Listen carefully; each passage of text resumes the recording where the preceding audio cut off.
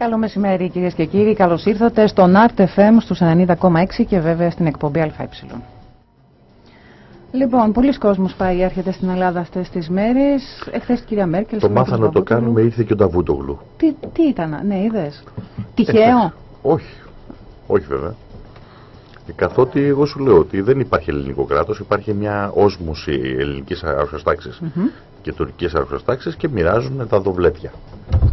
Ε, ο, το μεγάλο αφεντικό ήρθε και πάλι. Γενικό ξεπούλημα που λέμε. Ε, βέβαια, ναι. Κλείνει λόγω ανακαίνησης, Τι ανακαίνησης, λόγω εκαθάρισης. λόγω συνταξιοδότησης, όχι ξέρεις αυτά που Τελειώσαμε. βλέπουμε. Ναι. Λοιπόν, Οπότε, καταρχήν μισοτιμής. ε, πρέπει να συζητήσουμε επειδή βλέπω τις εφημερίδες εδώ τα πρωτοσέλιδα και καμία δεν το αναφέρει, δεν ε, ζήτημα.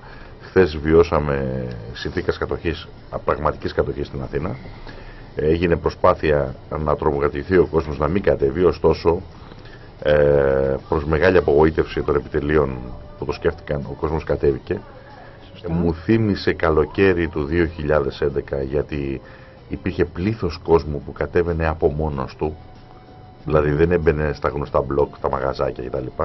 Κατέβαινε από μόνος του. Μάλιστα είναι χαρακτηριστικό ότι ε, το ΕΠΑΜ είχε, είχε προσυγκέντρωση στην, ε, στο αγάλμα του Κουλκοτρώνη ναι. Και είχε δυσκολία να μπει στη ροή του κόσμου γιατί είχε τέτοια ροή στα δύο προς τα πάνω από απλό κόσμο. Δηλαδή Ο οποίος έπαιρνε το μετρό, το ναι, λεωφορείο, κατέβαινε ό,τι απλά για να μπορούσε και- κατέβει. Για να κατέβει. Λοιπόν, Ναι. χωρίς να μπαίνει σε κανένα Από τα μπλοκ από τα διάφορα. μαγαζάκια, ναι. Λοιπόν, ε, και είναι εντυπωσιακό. Αυτό έδειξε ας πούμε μια αυθόρμητη εκδήλωση του κόσμου. Βεβαίως, εντάξει, θα μπορούσε να ήταν πολύ μεγαλύτερη. Ε, αλλά αυτό δεν σημαίνει απολύτως τίποτα. Θα το σχολιάσουμε για- κιόλας γιατί ακούγονται πολλές βλακίες σχετικά με αυτό. Για το Ε, μέγεθος, γιατί δεν κατέβηκε ο Ε, κόσμος. Ναι, γιατί δεν είχαμε ένα εκατομμύριο Έλληνες και διαμαρτυρίε. Ναι. Και συνήθως αυτοί, τα- αυτοί που τα λένε είναι αυτοί που είναι αραχτοί στο σπίτι τους. Ναι. Έτσι, λοιπόν. Και τα λένε και εκ του πονηρού, όπως αντιλαμβάνεσαι. καλά, το εκ του για πονηρού να θα διαβάσω. απαξιώσουν, Για να απαξιώσουν το, το γεγονός. Ναι, θα έτσι. διαβάσουμε και ένα του ψυχάρι, του κυρίου Ψυχάρη, Σημερινό, ένα το κείμενο, σημερινό. ναι, το σημερινό, το οποίο έχει ένα ενδιαφέρον για το σχολιασμό. Λοιπόν, και το τι επισημαίνει. Ναι. Λοιπόν, έχει μόνο, μόνο θα ήθελα να πω το εξής. Πρώτον, εκεί είδαμε μια άλλη αστυνομία. Χθες. Μια αστυνομία η οποία είναι γερμανική. Δεν έχει καμία σχέση με την Ελλάδα. Δεν εννοείς ότι είναι Γερμανοί, ότι έχουν έρθει οι Όχι, Γερμανοί όχι. αστυνομικοί, για να τα ξεκαθαρίσουμε. να Ακόμη και το συνδικαλιστικό του όργανο αναγνώρισε ότι το υπέτατο αφεντικό είναι η Μέρκελ. Σε, αυ- σε αυτήν απευθύνονται. Μάλιστα είναι χαρακτηριστικό, ενώ από τους ενστόλους είχαμε σχεδόν όλα τα συνδικαλιστικά όργανα μην- Ναι, κάτω ναι. και με τη στολή να συμμετέχουν στη διαδήλωση, ακόμη και ενστολή από τι ένοπλε δυνάμεις. Ωστόσο, δεν υπήρχε πουθενά α, συνδικαλιστική ε, εκπροσώπηση των Ελλήνων αστυνομικών. Και το ενδιαφέρον ποιο είναι. Μπροστά μου, συνδικαλιστές τόσο των πυροσβεστών όσο και των λιμενικών, οι οποίοι κάνανε μια εντυπωσιακή παρουσία, όντως, οφείλουμε να ομολογήσουμε, στη χθεσινή πορεία, ε, στη, στη χθεσινή διαδήλωση, πέραν τηλέφωνο στους συνδικαλιστές της αστυνομίας, τους γνωστούς, ναι. τους πολύ γνωστούς από τα κανάλια, από τις ηρωικές δηλώσεις, από τη δίθεν επικήρυξη της... ε, Μου κάνει εντύπωση, γιατί οι ναι. συνδικαλιστές της αστυνομίας είχαν σηκώσει ψηλά το, το ναι, ναι, πύχη. ναι, ναι. Αυτό Όταν, μου ναι, κάνει όταν είναι το εντύπωση. κανάλι βεβαίως. ναι. Λοιπόν, και τα είχαν κλειστά τα κινητά. Ναι. Είτε να απαντούσαν. Λοιπόν, τα πράγματα αλλάζουν άρδιν, βεβαίως, διότι είχε δοθεί εντολή στην αστυνομία να κάνουν προσαγωγές ε, τρομοκρατικού χαρακτήρα. Έγιναν εκατοντάδες προσαρμογές πριν καν ξεκινήσει η εκδήλωση. Είχαμε φαινόμενα όπου ε, ε, προσήλθαν στα αστυνομικά τμήματα παιδιά που τελείωναν το σχολείο ή ερχόντουσαν από το σχολείο μόνο και, επειδή, μόνο και μόνο επειδή είχαν σακίδιο. Και δεν μιλάμε κοντά στο Σύνταγμα, στην Γλυφάδα, ναι. στην, α, στα βόρεια προάστια, Αυτή είναι η οπουδήποτε. τακτική που ακολουθείτε τον τελευταίο καιρό, Δημήτρη, έτσι, στις, Ε, τελε... στις θα, πορείες θα τέτοιου πούμε χαρακτήρα. ένα πολύ χαρακτηριστικό επεισόδιο το οποίο το ζήσαμε εμείς, ας πούμε το ξέρω δηλαδή από πρώτο χέρι, οπότε γι' αυτό το λέω. Μιλάμε για εκατοντάδες ε, τέτοιες προσαγωγές. Λοιπόν, με το έτσι γουστάρω. Άκου λοιπόν περιστατικό. Δύο λοιπόν συναγωνιστές από το ΕΠΑΜ, Ναι. στη Γούναρη, στην Άνω Γλυφάδα, κατέβηκαν α, παρέα να βρουν κάποιο ταξί να τους φέρει το κέντρο. ναι, μέχρι το κέντρο για να μπορέσουν να έρθουν στην ε, συγκέντρωση. Το ενδιαφέρον είναι ότι δεν κρατάγαν τίποτα στα χέρια τους. Δεν είχαν σακίδιο, δεν είχαν Μάλιστα. απολύτως τίποτα. Ναι. Λοιπόν, και ήταν και κάπως ας πούμε πάνω από 35 χρονών. Ναι, δεν ήταν τα παιδιά, τα 18 Πιτσιρίκια, 20 ναι, ναι. ναι. Με τις λοιπόν, με τα κουκούλες. μαύρα και τις κουκούλες και τα ρέστα. Ναι. Λοιπόν, κάθε άλλο. Και μάλιστα είναι πετυχημένοι επαγγελματίες. Ναι, Να το πούμε και έτσι. ναι. Λοιπόν, Άρα δύο σοβαροί κύριοι Ναι. περπατάνε χωρίς τίποτα για Λοιπόν, να βρουν ένα ταξί. ταξί ήθελαν να Ναι, αυτό σταματήσουν. λέω. Λοιπόν, Δίνω αντί, την να- εικόνα. αντί για το ταξί, λοιπόν, σταματάνε περιπολικό. Παιδιά που πάτε να σας πάμε. ναι, κάπως έτσι έγινε η ιστορία. Ερώτω ρώτησαν πού πάτε. Ναι. Λέμε, πάμε στο Σύνταγμα για τη διαδήλωση. Μετά βεβαίως οι ίδιοι λέγανε, γιατί το πάμε, ρε παιδιά, αυτό. Ναι, ας όπου πούμε. θέλουμε πάμε. Λοιπόν, στο κάτω αφήσει, γιατί δεν κατάλαβα. Καταρχήν δεν είχαν δικαίωμα να τους ρωτήσουν. Αλλά όπως και να έχει, Ναι. δικαίωμά τους απάνω που θέλουν. Δεν κατάλαβα. Στρατοκρατούμενη χώρα είμαστε. Ναι. Επειδή αυτοί χρησιμοποιούν χουντικά διατάγματα. Λοιπόν, Τι έλεγα, γίνει ενδιαφέρον. πάμε τώρα λοιπόν τι γίνεται. Βγαίνουν έξω και τους ζητάνε ταυτότητες. Μάλιστα. Λέει ταυτότητα. Παίρνουν τις ταυτότητες, λέει Α, αυτή είναι πιθανά πλαστή η ταυτότητα, οπότε προσαγωγή στο τμήμα. Α, Μα παίρνουν τηλέφωνο εκείνη την ώρα. Εγώ πήγαινα προς το, στο Σύνταγμα. προς το Σύνταγμα, παίρνουν το τηλέφωνο, μας παίρνουν το τηλέφωνο τα παιδιά, γιατί και εγώ από την κλειφάδα ερχόμουν. Λοιπόν, και μας λένε το και το. Εμείς αμέσως ειδοποιούμε τους δικηγόρους του, του κινήματος και ε, ένας ε, συναγωνιστής είχε την εξής φαϊνή ιδέα. Τους λέει: Κοιτάξτε να δείτε, πείτε δυνατά, επαναλάβετε δυνατά τα εξής λόγια. Μέσα στο περιπολικό τους είχαν βάλει Μάλιστα. και τους είχαν πάει στο τμήμα. Ναι. Λοιπόν, ε, το τμήμα ήταν το τμήμα της Άνω Γλυφάδας. Λοιπόν, και λέει, «Επ- επαναλάβετε δυνατά και με αποφασιστικότητα τα εξής λόγια.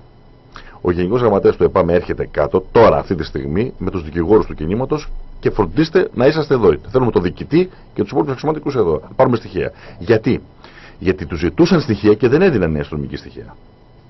Αυτό είναι Λοιπόν. απαράδεκτο. Και δεν το συζητάμε. Τώρα το τι άλλο είναι απαράδεκτο γιατί είναι αποδεκτό, έχουμε ξεφύγει τελείως, έτσι. Ναι. Λοιπόν, το ενδιαφέρον ποιο είναι. Το επαναλαμβάνουν.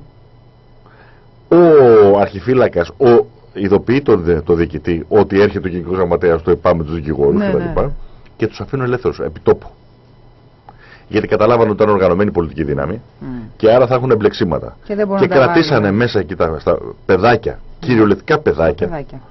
και, α, και πολίτες ε, ε, που δεν ήταν καμία σχέση τους μαζέψανε στο δρόμο οι οποίοι να έχουν κατορριθεί επάνω τους από το φόβο από το φόβο τους και μόνο το γεγονός ότι ήταν σε, σε διαδικασία προσαγωγής Ναι. ε, άμα δεν έχεις εμπειρία ας πούμε καταλαβαίνεις ε, πώς πας την πλάκα σου. Βέβαια, τι λες τώρα, να σε λοιπόν, σταματάει το άλλο να σε μαζεύει στο περιπολικό λες και είσαι κοινός εγκληματία. λοιπόν εγώ το ξαναλέω και ακούστε με καλά ανοίγετε λογαριασμούς με την κοινωνία οι οποίοι όσο συνεχίζετε να τους ανοίγετε τόσο πιο δύσκολα κλείνουν. Ανοίγετε λογαριασμούς. Και δεν ε, α- αναφέρομαι στην κυβέρνηση που σας δίνει εντολή. Σας το λέω απλά.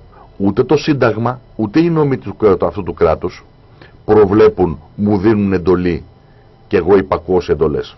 Δεν το προβλέπουν. Μέχρι τώρα έχετε το, του καθεστώτος την κάλυψη. Μέχρι πόσο θα κρατήσει αυτό το καθεστώς. Μπορείτε να σκεφτείτε; Ε. Γιατί αυτό το πράγμα δεν μπορεί να συνεχιστεί. Μμ. Αργά ή γρήγορα θα έχουμε μεγάλη μεταβολή. Όποια και αν είναι η μεταβολή αυτή, όποια και αν είναι, Προς όποια κατεύθυνση. δηλαδή. προς όποια κατεύθυνση και να είναι, θα υπάρχουν είτε ξυλαστήρια θύματα, Ναι. είτε θα δικαστούν οι, Ναι, οι ένα από τα υπεύθυνοι. δύο, ναι. Ωραία. Εξυλαστήρια θύματα ποια θα είναι; Αυτοί που δώσαν τις εντολές ή αυτοί που τις πήραν και τις εκτελέσανε; Καλά, συνήθως οι κατώτεροι πάντα. Α, είναι μπράβο. εξελαστήρια Γι' αυτό θύματα. λέω να σκεφτούμε λιγάκι λογικά. Τι λογαριασμούς ανοίγουμε την κοινωνία.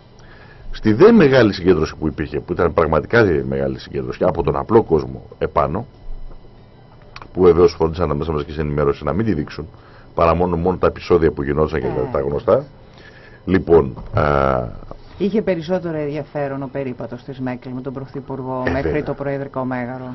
και, με το, και, την, και το ξεφτύλισμα του Τσολιά της, ανακτορι, της προεδρικής φοράς, ανακτορικής καλά το λέω γιατί δεν ε, Είδες, μιλάμε για, λόγα για λα- δημοκρατία. Γλώσσα λανθάνουσα. Λοιπόν, ο οποίος για πρώτη φορά μετά τη γερμανική κατοχή Ναι. μπορεί εύκολα να χαρακτηριστεί Γερμανοτσολιάς. Και μόνο η ντροπή, το ότι η προδική φρουρά στεκόταν έτσι για πρώτη φορά για αρχηγό κράτος με αυτόν τον τρόπο και με αυτές τις, τις τιμές, η προεδρική φρουρά μετατρέπεται σε φρουρά Γερμανοτσολιάδων. Εντάξει, και θα τα πούμε όταν έρθει η ώρα. Λοιπόν, με όλους αυτούς που δίνουν εντολές και ξεφτιλίζονται έτσι.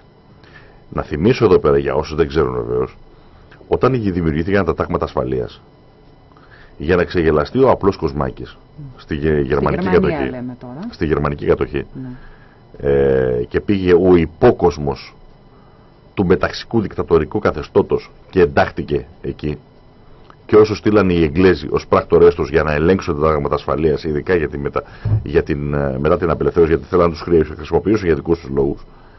Λοιπόν, φορέσανε επίσημη στολή των ταγμάτων ασφαλείας, ήταν η στολή του Τσολιά. Γι' αυτό τους λέγανε Γέρμανο Τσολιάδες. Γιατί είχαν το, το, το, το χιτλερικό σήμα της Βάστηκα και φοράγανε τη στολή του Τσολιά. Θα είδαμε ε, ε, και τώρα μια τέτοια ξεφτύλα κυριολεκτικά τέτοια ξεφτύλα. Ε, καλά, όλες οι εικόνες βέβαια εκεί σε Αυτή η κυρία βεβαίως δεν τόλμησε ούτε να πατήσει στο, στο κοινοβούλιο. Προφανώς φοβήθηκε αυτό που λέγαμε εμείς. Ναι. Μην βρεθεί κανένα τρελό και βγάλει κανένα πασούμι και αρχίσει και το χτυπάει εκεί πέρα, μην το πετάξει, ας πούμε. λοιπόν, οπότε τι προτίμησε, προτίμησε να πάει στο Χίλτον και να μιλήσει σε Έλληνες και Γερμανοί, Έλληνες επιχειρηματίες ναι. και επιλεγμένους Έλληνες πολιτικούς. Δηλαδή στο δοσυλλογικό καθεστώς το αφάνκατε. Και το τελευταίο σχόλιο που θέλω να κάνω είναι για την ξεφτύλα των δηλώσεων των πολιτικών αρχηγών. Οι οποίοι είναι τρία πουλάκια κάθονται και Νικολό Καρτέρι πέτα μου ένα μαϊντανό να φάω ένα σίκο. Λοιπόν, πρώτον, η κυρία Παπαρίγα θυμήθηκε τα ταξικά της. Ναι. Ξεχνάει βεβαίως ότι ήταν το πρώτο, πρώτο το κουκουέ που την κοπάνησε από, την, από το Σύνταγμα όταν μυρίστηκε στην πρώτη ο στην πρώτη α, πώς το λένε κρότου λάμψης. την κοπάνισε το, το πάμε. Γιατί ξέρετε παιδί το πάμε είναι... είπαμε πάει διαδηλώνει πάμε μεταξουργείο έχει αυτή ναι, την πάμε μεταξουργείο διότι εκεί πέρα έχει ωραία, ωραία ουζερή. Λοιπόν βεβαίως σημαντικό κομμάτι του κόσμου του έμεινε. Και αυτό είναι προς τιμήν του. Mm -hmm. προς τιμήν του. Γιατί αυτοί που καθοδηγούν σήμερα το ΚΚΕ είναι, μας είναι γνωστή από παλιά, από τη Χούντα. Και ξέρουμε τι ηθικού αναστήματος είναι. Από τότε. Τους ξέρουμε. Ε, τουλάχιστον εμείς που είμαστε, έχουμε μια διαδρομή. Ναι, γιατί είναι βαριά κουβέντα αυτή τώρα που λες. Τους ξέρουμε. Λοιπόν, και ειδικά τη γραμματέα της. Τη γραμματέα. Από τη Χούντα την ξέρουμε. Από τότε που η, κομματική, που η οργάνωσή της μάζεψε λεφτά να την δραπετεύσει στο Λονδίνο για να μην τους καρφώσει. Και ο, ο άνθρωπος ο οποίος την καθοδηγούσε τότε και δυστυχώς πέθανε περνώντας το βάσανό του, ένα τρομακτικό βάσανο, ο Κώστας ο Κάπος, mm. ο οποίος ήταν και αυτός που σήκωσε το βάρος να πει δεν τι θέλουμε αυτή την κυρία στην Κεντρική Επιτροπή από τότε που είχε μπει στο ζήτημα της Κεντρικής Επιτροπής δεν είναι ικανή ούτε για στοιχειώδη δουλειά και ανέφερε το περιστατικό της, ε, της Χούντας. Τότε, το, το, ναι. το... Λοιπόν, και βεβαίως όταν κρίθηκε η τύχη, όταν πήγε να κριθεί η τύχη του κόμματος στη δεύτερη, στις απαντές δύο διασπάσεις, η κυρία αυτή δήλωνε επίσημα στην ευρεία Ολομέλεια είμαι ένα μηδενικό. Λοιπόν, ε, είχε απόλυτο δίκιο σε αυτό. Λοιπόν, και τώρα μας λέει ταξικές και ανοησίες. Λοιπόν, άκου να δείτε τώρα. Όπως βεβαίως και ο κύριος Τσίπρας, το οποίο ανακάλυψε ότι δεν καταλαβαίνει γιατί επιμένει η κυρία Μέρκελ σε ένα αδιέξοδο πρόγραμμα. Δεν το καταλαβαίνει αυτό. Mm. Μήπως θα το εξηγήσουμε. Ή μάλλον να το εξηγήσουμε μετά γιατί θέλει μια φιλοσοφία. Δεν είναι αυτό, είναι λίγο λειτουργικό. Το θέμα ότι είναι δηλώσεις οι οποίες δεν ακουμπάνε το μέσο Έλληνο πολίτη. Κανέναν. Έτσι. Λοιπόν, και βεβαίως δεν, δεν το συζητάμε για τους καμένους Έλληνες. Οι καμένοι Έλληνες είχαν να μαζέψει 300 ανθρώπους ε, κάτω από το, τι στήλε του Ολυμπίου Διός και είναι τόση βλακεία τους που ήταν, έγιναν και στόχος κιόλας. Καταρχήν στείλανε μια επιστολή, την επιστολή που επιδώσανε. Ε, αν δεν ξέρω αν την είδες ή αν τη δεις, αν προλάβεις να τη δεις κάποια στιγμή, είναι σε πολύ χαμηλότερους τόνους από αυτά που μας έχει συνηθίσει ο κύριος Καμένος. Γιατί είναι για τις γερμανικές ε, αποζημιώσεις. Γερμανικές αποζημιώσεις. Το κατοχικό δάνειο τελείως τυχαία το ξέχασε. Ο, θέλω να σου πω όμως, Λέω... επειδή σε διάφορες ε, συνομιλίες του, συνεντεύξεις του πάντα μιλάει με, έναν, ε, έτσι, με πολύ υψηλούς τόνους ο κ. Καμένος, σε αυτή την επιστολή οι υψηλοί τόνοι χάθηκαν. Δεν υπήρχαν λοιπόν, πουθενά. Ήταν ναι. πολύ μαζεμένοι και πολύ συγκεκριμένοι. Αυτό λέω. Γιατί το, το έγγραφο μένει. Λοιπόν. Το τι λέει ο καθένας στο μικρόφωνο δεν μένει. Κύριοι, κύριοι ε, Παπαρίγα, ε, Τσίπρας και Καμένος, να μας το παίξετε πραγματικά ότι δεν σηκώνετε και είσαστε και μάγκες και ωραίοι, παραιτηθείτε από τη Βουλή. Κάντε επίσημη δήλωση ότι έτσι και περάσει αυτό το πρόγραμμα που εκτελεί το, το λαό Ναι. και διαλύει τη χώρα, εγώ θα παραιτηθώ, θα καταθέσω τη βουλευτική μου ιδιότητα ως κόμμα, ως σύνολο, με μόνο σκοπό να βαθύνει τόσο πολύ η, η κρίση, ώστε να μην μπορεί να κυβερνήσει αυτό το συνοθήλευμα συγκυβέρνησης. Ε, εξάλλου, Να δώσετε τη- τη- το παράδειγμα στον κόσμο. Στο παράδειγμα το δίνω στον κόσμο, όχι με δηλώσεις στις τηλεοράσεις. Το δίνω με το παίρνω τα ρίσκα μου εγώ. Ναι. με τις πράξεις. Δείχνω ότι δεν έχω ανάγκη ούτε την κοινοβουλευτική μου έδρα, ούτε τα λεφτά που μου δίνει το κράτος και η κυρία Μέρκελ, Μμμ. εντάξει, για να κάνω πολιτική. Ξέρω να την κάνω την πολιτική και σε μάζες, στον κόσμο κάτω, ώστε να ξεθαρέψει ο κόσμος. Ώστε να πει, να άρε παιδιά, μας δίνουν το παράδειγμα. Πάμε όλοι μαζί. Βγαίνουμε από Αυτό. τα σπίτια μας όλοι πια. Έτσι. Βλέπουν μια. ε, ε, εξάλλου, η χθεσινή επίσκεψη της κυρίας Μέρκελ, η οποία ε, ήρθε για εσωτερική κατανάλωση και δική της και δική μας εδώ. Γιατί αντιμετωπίζει εκλογές. Έτσι, έχει κατηγορηθεί η κυρία Μέρκελ ότι ε, έχει δημιουργήσει διάφορα προβλήματα στην Ευρώπη. Αν το θες μπορεί να το χρησιμοποιήσεις αυτό το ταξίδι ότι να δεν είναι έτσι, δεν είναι αντιευρωπαϊστής και όλα τα σχετικά. Και εδώ για να στηρίξεις τον κύριο Σαμάρα. Δεν ήρθε για να κάνει κάτι το ιδιαίτερο. Όχι βέβαια, έτσι, μα δεν είπε τίποτα για όνομα απολύτως. του. Δεν είπε, Μόνο μια το γε- μόνο που είπε για μένα- γελιότητα μόνο το μέσο μαζικής ενημέρωσης που κάνανε μια τέτοια επίσκεψη χωρίς περιεχόμενο Μα δεν- πραγματικό για τον κανένα. ελληνικό λαό. Κανένα, το απολύτως κάνανε, κανένα. το κάνανε το μέγιστο θέμα. Ναι. Για να ξεχάσουμε βεβαίως άλλα πράγματα. Εντάξει, δεν θέλω να σου πω ότι ήταν, ε, ήρθε η κυρία Μέρκελ για να τη υποβάλουμε τα σέβη μας. Βεβαίως. Λοιπόν, Ναι. ήταν γελίες όλες οι μεταδόσεις. Λέω ότι πιο ε, λέξη μπορώ να χρησιμοποιήσω στο, στο ραδιόφωνο. Εμένα μου θυμίζει, Έτσι. μου θύμισε και κυριολεκτικά εκείνα τα επίκαιρα. Κάτι είπες στο αυτό, εποχής κάτι είπανε στο Χούντας. αυτή, ε, χαμογελάσανε. Ε, ε, άκουγες κάτι σημειώσεις των δε, συναδέλφων δημοσιογράφων, οι οποίες είπα το λιγότερο μπορεί να είναι γελίες. Βέβαια, οι δύο ερωτήσεις που ακούστηκαν σε αυτή την περίφημη συνέντευξη τύπου, που μόνο συνέντευξη τύπου δεν ήταν, αφού εκ των πραγμάτων δύο και δύο ερωτήσεις ήταν, από δύο ερωτήσεις οι Γερμανοί, δύο Ναι, οι ερωτήσεις εξής συγκεκριμένες Οι- οι- δύο, οι εξής- οι οποίες ήταν προετοιμασμένες από τα πριν και είχαν δοθεί για να ξέρουν τις απαντήσεις και εκεί πέρα. Βεβαίως, βεβαίως. Μα ήταν και ως ερωτήσεις. Ποιον ενδιαφέραν; Τι τη ρωτήσαμε; Τι ρωτήσαμε; Ξέρω εγώ. Ήρθε η κυρία Μέρκελ εδώ και τι, τι ρωτήσαμε; Τίποτα. Έτσι, διάβασε ο καθένας το σημειωματάκι του που είχαν αποφασίσει. Ναι, μα ναι, από που είχαν πριν, βεβαίως. συμφωνήσει. Λοιπόν, το είχαν δουλέψει και το μοιράσανε. Ακουστήκαν και δύο ερωτήσεις και αυτή είναι η συνέντευξή τύπου. Εμένα αυτά τα, μα- τα, οι ανταποκρίσεις και τα, πα- και τα θέματα μου θυμήσανε τα επίκαιρα της εποχής Χούντας. Α. Σε κάθε, ε, με το Σπύρο Άγνιου θυμάμαι γιατί ήμουν στο δημοτικό και θυμάμαι είχε έρθει αυτός ο τύπος ε, Ναι. στην Ελλάδα και μας διώχναν από το δημοτικό σχολείο να πάμε να τον υποδεχτούμε μαζί με τους Βέβαια, γονείς μας. ναι. Βεβαίως δεν πήγανε. Ναι, πήγανε καλά, εντάξει, μόνο τα αλλά αυτά. άκου τώρα, ναι. Αλλά θέλω να σου πω και τα μετά τα Εικόνα. επίκαιρα λέει ο λαός αποδέχεται το... Μμμ. Ένα λαμόγιο με ολκής δηλαδή μιλάμε έχει αφήσει ιστορία στην Αμερική και στην ομογένεια αυτός ο τύπος. Και είχε πρόσφατα η ΕΡΤ ένα ντοκιμαντέρ που έδειχνε από αυτά από τα επίκαιρα και τα λοιπά στη Ναι. Χούντα, τα οποία ήταν Είναι, καταπληκτικά. είναι έδειχνε- χειρότερα, είναι, έτσι χειρότερα, ακριβώς. είναι χειρότερα από τα, από τα, πώς το λένε, τα σημερινά. Ναι, Τα σημερινά είναι πολύ χειρότερα. ναι. Δηλαδή αυτού του επίπεδο πληροφόρηση έχουμε. Δηλαδή ε, μένεις άναυδος. Μα, Γι' αυτό το αναφέρω. Ε, αυτό εντάξει. Αυτό. Εντάξει. Λοιπόν, για, και να το Λοιπόν. ξαναπούμε. Εάν γουστάρετε μάγκες, να το παίξετε πραγματικά μάγκες και να μην κορυδεύετε τον κόσμο και να μην σας γυρίζει την πλάτη ο κόσμος και καλά κάνει και σας γυρίζει την πλάτη, δηλώστε ότι έτσι και τολμήσετε και τα φέρετε στη Βουλή και τα ψηφίσετε αυτά τα πράγματα, εμείς σηκώνομαστε και φεύγουμε. Όχι για να, δι- για να, για να προκληθούν εκλογές. Γιατί αυτοί είναι, υπο, γιατί αυτοί είναι υποχρεωμένοι να φέρουν σε πρέση αποστολή, στην απο, την αποστολή τους παρά και ενάντια σε εκλογές. Εντάξει. Λοιπόν, τουλάχιστον να κατεβάσετε αυτή την πελερέζα κοινοβουλευτισμού που υπάρχει. Ακριβώς. Και να δείξετε ότι αυτοί οι τύποι, και να σας πω και κάτι άλλο. Και δεν μας τους λέει ο κύριος- νομιμοποιείτε με την ο κύριος- παρουσία Ο κύριος σας Τσίπρα πια. δεν μας λέει ότι αυτά που θα πουληθούν, λέμε στους επενδυτές θα τα πάρουμε πίσω. Ποιος καλύτερος τρόπος είναι από το να σηκωθείς να φύγεις από τη Βουλή και να απονομοποιήσεις Ακριβώς. οτιδήποτε ψηφίσει όπως ακριβώς κάνανε το σύνολο της αντιπολίτευσης το 1975 όταν ψηφίστηκε το- αυτό το κατάπτυστο σύνταγμα που ακόμη και αυτό το έχουν καταπατήσει, κορελόχαρτο το έχουν κάνει, έτσι, που το, που το ψήφισε μόνο μια κοινοβουλευτική ομάδα. Και από τότε έμενε σε εκκρεμότητα η ίδια η νομοποίηση του συντάγματος. Και βεβαίως το, το νομοποίησε ο Αντρέα Είχε ο Παπανδρέου για τη Ανδρέας δική του, Παπανδρέου μαγιά, και το τη δική του μαγιά. Αλλά πριν από αυτό όμω, Είχε δημιουργηθεί όμως ένα θέμα σοβαρό. τεράστιο θέμα Αυτό και, είναι το ζήτημα. και από την άποψη της, το συνταγμα, το, της συνταγματικότητας των νόμων που περνούσαν οι κυβερνήσεις εκεί πέρα, οι απανωτές, οι απανωτικές κυβερνήσεις της Νέας Δημοκρατίας εκείνη την εποχή. Γι' αυτό κρατήσανε τη χουντική σύνθεση του Αριού Πάγου Μμμ. την εποχή εκείνη. τη χουντική σύνθεση, λοιπόν με εισαγγελέα, με εισαγγελέα Αρίου Πάγου κατευθείαν από τη Χούντα, διορισμένο από τη Χούντα, ο οποίος ήταν απίστευτος αυτός ο τύπος.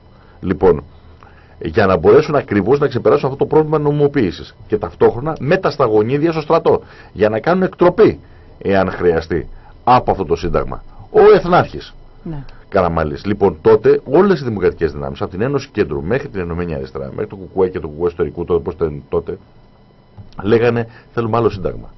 Και με άλλη διαδικασία. Δεν μπορεί να είναι αναθρωτική με αναθρωτική βουλή δίθεν και κάμω και όπως γουστάρεις και, να το, και να πάμε Σύνταγμα. Άλλο Σύνταγμα. Βεβαίως το ξεχάσαν απόλυτα το σύνολο των κομμάτων, θα μπορώ να πω, μετά το 81. Το σύνολο των κομμάτων ναι. το ξέχασε. Ακόμη και το Κουκουέ εκείνη την ε, εποχή τράβηξε πίσω το, το ναι. θέμα αυτό και είπε: Εντάξει, ρε παιδιά, στις αναθεωρήσεις που κάνετε, βάλτε και κάτι της να με βολεύει και εμένα. Και δεν πήρε θέση δημοκρατίας. Όπως και σήμερα δεν παίρνουν θέση δημοκρατίας.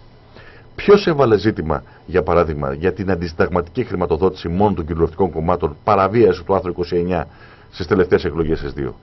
Από τα κόμματα τα, τα λεγόμενα δημοκρατικά προοδευτικά. Ναι. Κανένας. Αρκεί που τα πήραμε. Ποιος έβαλε ζήτημα για την αγριότητα της καταστολής την, ε, της, το, του προηγούμενου με τη χρήση ε, πώς το λένε, ε, διατάγματος της Χούντας ναι. 38 χρόνια και δεν λέω να βγάλεις ανακοίνωση τύπου Πάμε όλοι μαζί να τραβήξουμε μια μηνυτήρια αναφορά στον αρχηγό της αστυνομίας, στον ναι, Αριοπάγο. Βέβαια, να ανακοινώσεις είναι πολύ εύκολο να βγαίνουν και να Αλλά έχουμε την, κυρία, έχουμε την κυρία Παπαρία, ξέρετε, αυτόν τον, τον ογκόλυθο της αντίστασης. Έτσι. Που θυμίζει και τι επί 15 μέτρα.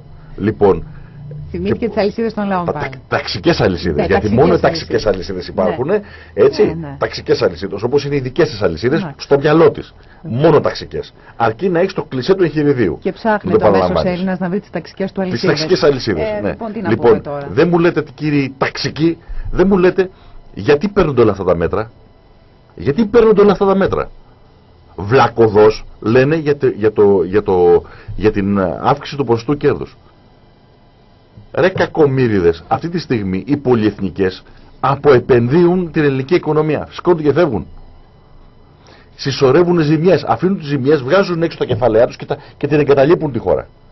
Αυτοί που έρχονται εδώ δεν στοχεύουν στην, να επενδύσουν στη ζωντανή εργασία ή στην εργατική δύναμη, αν θέλετε να μιλήσουμε με όρους εγχειριδίου. Αλλά επενδύουν στο χωράφι στη δυνατότητα αυτό το χωράφι να γίνει οικόπεδο. Να το, να το κατατμήσουν και να το πουλήσουν. Είτε σαν αέρα, ήλιο, φυσικό, φυσικό πλούτο ή οτιδήποτε άλλο. Τι σημαίνει αυτό, εάν όχι διάλυση ολόκληρου του κράτους και καταμαρχισμού. Απέναντι σε αυτό, έχετε να πείτε κάτι; Όχι. Απολύτως τίποτα. Γι' αυτό είναι στην απέναντι όχθη. Και μαζεύουν τον κόσμο τους και το μόνο που κάνουν να μαζεύουν τον κόσμο τους είναι μην, μην, μην φύγετε από εδώ από τον μπλοκ, έτσι έχουμε και τις σημαίες και όχι και τα ξύλα, να μην φύγετε από τον μπλοκ εδώ. Γιατί εκεί έξω είναι το μίασμα της κοινωνίας που υποφέρει. Το χειρότερο είναι ότι δίνουν τις ευθύνες στο λαό, στον κόσμο. Αυτό είναι έτσι. Το χειρότερο από όλα. Και δημιουργούν μια σειρά άλλα. Εγώ το λέω. Ε, Όποιος, όποια πολιτική δύναμη ψηφι, ε, αποδεχτεί την ψήφιση των μέτρων με την παραμονή του στο κοινοβούλιο, σαφέστατα περνάει στην αντίπερα όχθη δεν με νοιάζει τι φωνάζει ή τι λέει ή τι σημαία κουβαλάει. Περνάει εκεί γιατί αποφασίζει και παίρνει μια ιστορική σημασία σε απόφαση. Ότι θα συνεχίσει να πολιτεύεται στο πτώμα του ελληνικού λαού. Στο αίμα του. Ποντάροντας στον εκφυλισμό την εξαφάνιση και την εκμετάλλευσή του. Σε αυτό και δύναμη που πολιτεύεται εκεί είτε συμπολιτεύεται είτε αντιπολιτεύεται, είναι αντιδραστική δύναμη. Έχει περάσει στο απέναντι, στην απέναντι όχθη. Για να το ξεκαθαρίσουμε αυτό το πράγμα. Από εκεί και πέρα, μην μας λένε μετά ότι βάζουμε στο ίδιο Το χειρότερο είναι ότι νομιμοποιεί με την παρουσία του αυτό το καθεστώς και τα, και τα μέτρα. Μπορεί να μην τα ψηφίζεις, έτσι. Νομιμοποιήσει όμως ένα καθεστώς. Και μια έτσι κουβέντα, επειδή μου τα, τα, τα έχω πάρει πολύ, ειδικά mm. με, τα, θες, με αυτόν τον τύπο, ας πούμε, το Δαλάη Λάμα που βρήκε τον χρόνο, επειδή ξέρετε, ο κύριος Σούλτζ, δεν του κανόνισε ραντεβού με την κυρία Μέρκελ και ξέρετε τώρα θα, έχουμε, θα, τους mm. κρατάει, θα τις κρατάει μούτρα ο κύριος, Δαλάη, ο, ο κύριος Τσίπρας εννοώ θα τις κρατάει μούτρα δεν, δεν, ο κύριος Σούλτς α, δεν είχε φτιάξει ένα, το καλό το πρόγραμμα Είναι δυνατό την αξιωματική αντιπολίτευση να μην συναντήσει και η κυρία Μέρκελ. Δεν συναντάει η κυρία Μέρκελ, υπάρχει ανακοίνωση. Δεν συναντάει ε, προέδρους, αρχηγούς ε, της αντιπολίτευσης. Σε καμιά της επίσκεψη. Έχει βγει πρόγραμμα. Είναι, ναι, μα αυτό λοιπόν. όμως είναι παράβαση της δημοκρατίας. Γιατί πώς, έχουμε ένα τσίπρα, να μην το συναντήσετε, παιδί μου. Ο λοιπόν. άλλος μια, μια, μια, μια δήλωση θέλει να κάνει ο άνθρωπος. Λοιπόν, μία ερώτηση σε όλα αυτά τα καλόπεδα ναι. τα οποία ακούγανε τον κόσμο εκεί μαζικά να φωνάζει να στην Ευρωπαϊκή Ένωση και στο ευρώ. Μαζικά ο απλός κόσμος που ήταν καθισμένος mm, επάνω στα κάγκελα, μαζικά φώναζε χωρίς να έχει και αυτοί ε, πώς θα λένε, στριμωχουνόντουσαν άργια οι, οι κομματάρχες του, του ΣΥΡΙΖΑ. Απλή ερώτηση. Δεν μου λέτε ρε αδέρφια, μέχρι πού θα πάει η βαλίτσα; Δηλαδή, δεν μπορείτε να μας κάνετε, ε, επειδή έχετε και τρομερούς επιστήμονες παγκοσμίου φήμης και υψηλό επίπεδο σταθάκι για, για την επιμονή στο ευρώ; Ναι, όχι, άλλο λέω. Α. Μέχρι πού θα πάει η βαλίτσα; Δηλαδή, μπορείτε να μας κάνετε λιανά πόσους νεκρούς πρέπει να υποστεί ο ελληνικός λαός για να πιστείτε ότι δεν μας κάνει το ευρώ; Πόση καταπίεση, πόση εκμετάλλευση, πόση εξαθλίωση, πόση ανεργία μπορείτε να μας τα κάνετε λιανά. Νομίζω μέχρι να αποδεχθεί να, να, να δώσουν το ok οι ξένοι και οι Έλληνες ότι ο ΣΥΡΙΖΑ έχει οριμάσει για να είναι κυβέρνηση. Μέχρι τότε μπορούν να είναι αυτό. Αυτό δεν μας... Μισό λεπτό. Mm. Το, το θυμάσαι νομίζω. Στις δεύτερες εκλογές που δεν βγήκε ο ΣΥΡΙΖΑ ε, πολλά κανάλια και άλλα συμφέροντα μας λέγανε ότι ο ΣΥΡΙΖΑ δεν είναι ακόμα όριμος. Μας το είπε και ο κ. Παντελής Καψής λοιπόν, μετά την, ε, όταν δουν την περιοδία του στην Ευρώπη, ο κ. Τσίπρα. Λέει ναι. ορίμασε. ορίμασε. Ε, ναι. άρα οριμάζει όπου να είναι. Ναι. Λοιπόν, ε, επειδή η κυρία Μέρκελ, θα βάλουμε μια τελεία εδώ, δεν είπαμε, δεν, ε, δεν περιμέναμε για να μας πει τίποτα. Δεν Όχι, μα γι' αυτό και δεν ασχολούμαστε μαζί της. Δεν είναι το θέμα αυτό. Ένα μηδενικό το οποίο είναι της παγκόσμιας. οποίο είναι, πώς να το πούμε, μια, ένα, ένα μάπετ. Ναι, ναι. Και μάλιστα και μαζί με το Κακότεχνο, α πούμε. Το είδες. Σαν κακοχημένο λουκουμάς είναι, ας πούμε. λοιπόν, ε, αυτό το πράγμα. Οι παρομοιώσεις είναι καταπληκτικές. Ε, μα ναι, ρε παιδί. Φανταστικές. Και πίσω, ας πούμε, κρύβονται οι πραγμα, τα πραγματικά αφεντικά του συστήματος, ας πούμε, που στέλνουν ναι, αυτά τα πράγματα, ας πούμε, ναι. δίπλα στον αυγουλωμάτι ναι, ναι, ναι. Που, που, το παίζει και Έλληνα πρωθυπουργός. Αυτό το κοστίζει. Ξεναγώσει ήταν καλή, τι πρωθυπουργό; Τώρα πεις. Ξεναγώσει ήταν, ξέρει, καλέ, ξέρει λίγο ιστορία, ξέρει ξένες γλώσσες, την ξεναγούσετε, το είδες. Αυτό έκανε. Συνέχεια το έλεγε τι είναι αυτό, τι είναι εκείνο. Ναι, τι είναι εκείνο. Ο ξεναγώστης ήταν. Εδώ είναι ένας τάμνο, δίπλα ένας ναι, στολιάς. Ναι. Μην το βλέπετε το όπλο, δεν πυροβολεί, μην ανησυχείτε. Τι ξεναγούσε, αυτό έλεγαν. Τι, τι, τι, θα πούμε. Λοιπόν, πά, να πάμε να πάρουμε μια ανάσα, μετά έτσι θα αυξηθεί λίγο η παρέα μας και μέχρι τότε εσείς συνεχίζετε και επικοινωνείτε μαζί μας γράφοντας ΕΠΑΜ κενό το μήνυμά σας και αποστολή στο 54344 ή στο εκπομπή αε παπάκι gmail.com Λοιπόν εδώ εκπομπή ΑΕ, Δημήτρης Καζάκης, Γεωργία Πάστα και όλοι εσείς μαζί μας. Ε, συνεχίζετε και επικοινωνείτε μαζί μας στο 54344 μπορείτε να στείλετε το μήνυμά σας γράφοντας ΕΠΑΜ κενό το μήνυμά σας. Και επίσης βεβαίως μέσω email στο εκπομπή αε παπάκι gmail.com εδώ είμαστε, σχολιάζουμε όλα τα τελευταία που μας συμβαίνουν ε, και θυμήθηκα και ήθελα έτσι να το πω, βρε Δημήτρη, δεν ξέρω αν το έχεις ακούσει. Είδες, έγινε όλη αυτή η ιστορία με το Φωτόπουλο, με τη ΔΕΗ, βγήκε μια λίστα. OK, okay, έχουμε δει περισσότεροι νομίζω τη λίστα, τα γνωρίζουμε τα θέματα. Εγώ θέλω να σταθώ λίγο σε ένα σχόλιό σου και να δώσω το σχόλιό σου στο εξής.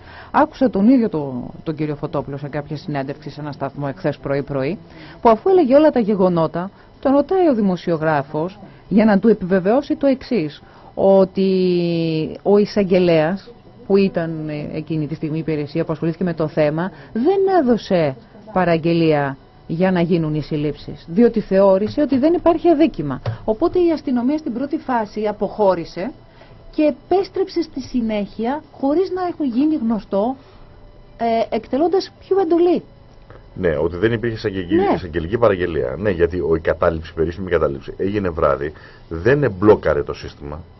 Άρα δεν υπήρχε κανένα. Ναι, είπε ο εισαγγελέας ότι δεν υπάρχει αδίκημα αυτή τη στιγμή και εγώ δεν μπορώ να δώσω εντολή. Και γι' αυτό λέει έφυγε η αστυνομία. Και επέστρεψε μετά από λίγο, χωρίς να ξέρουμε από ποιον έχει πάρει εντολή. Από τη Μέρκελ. Αυτό, δηλαδή, αυτό είναι τεράστιο θέμα.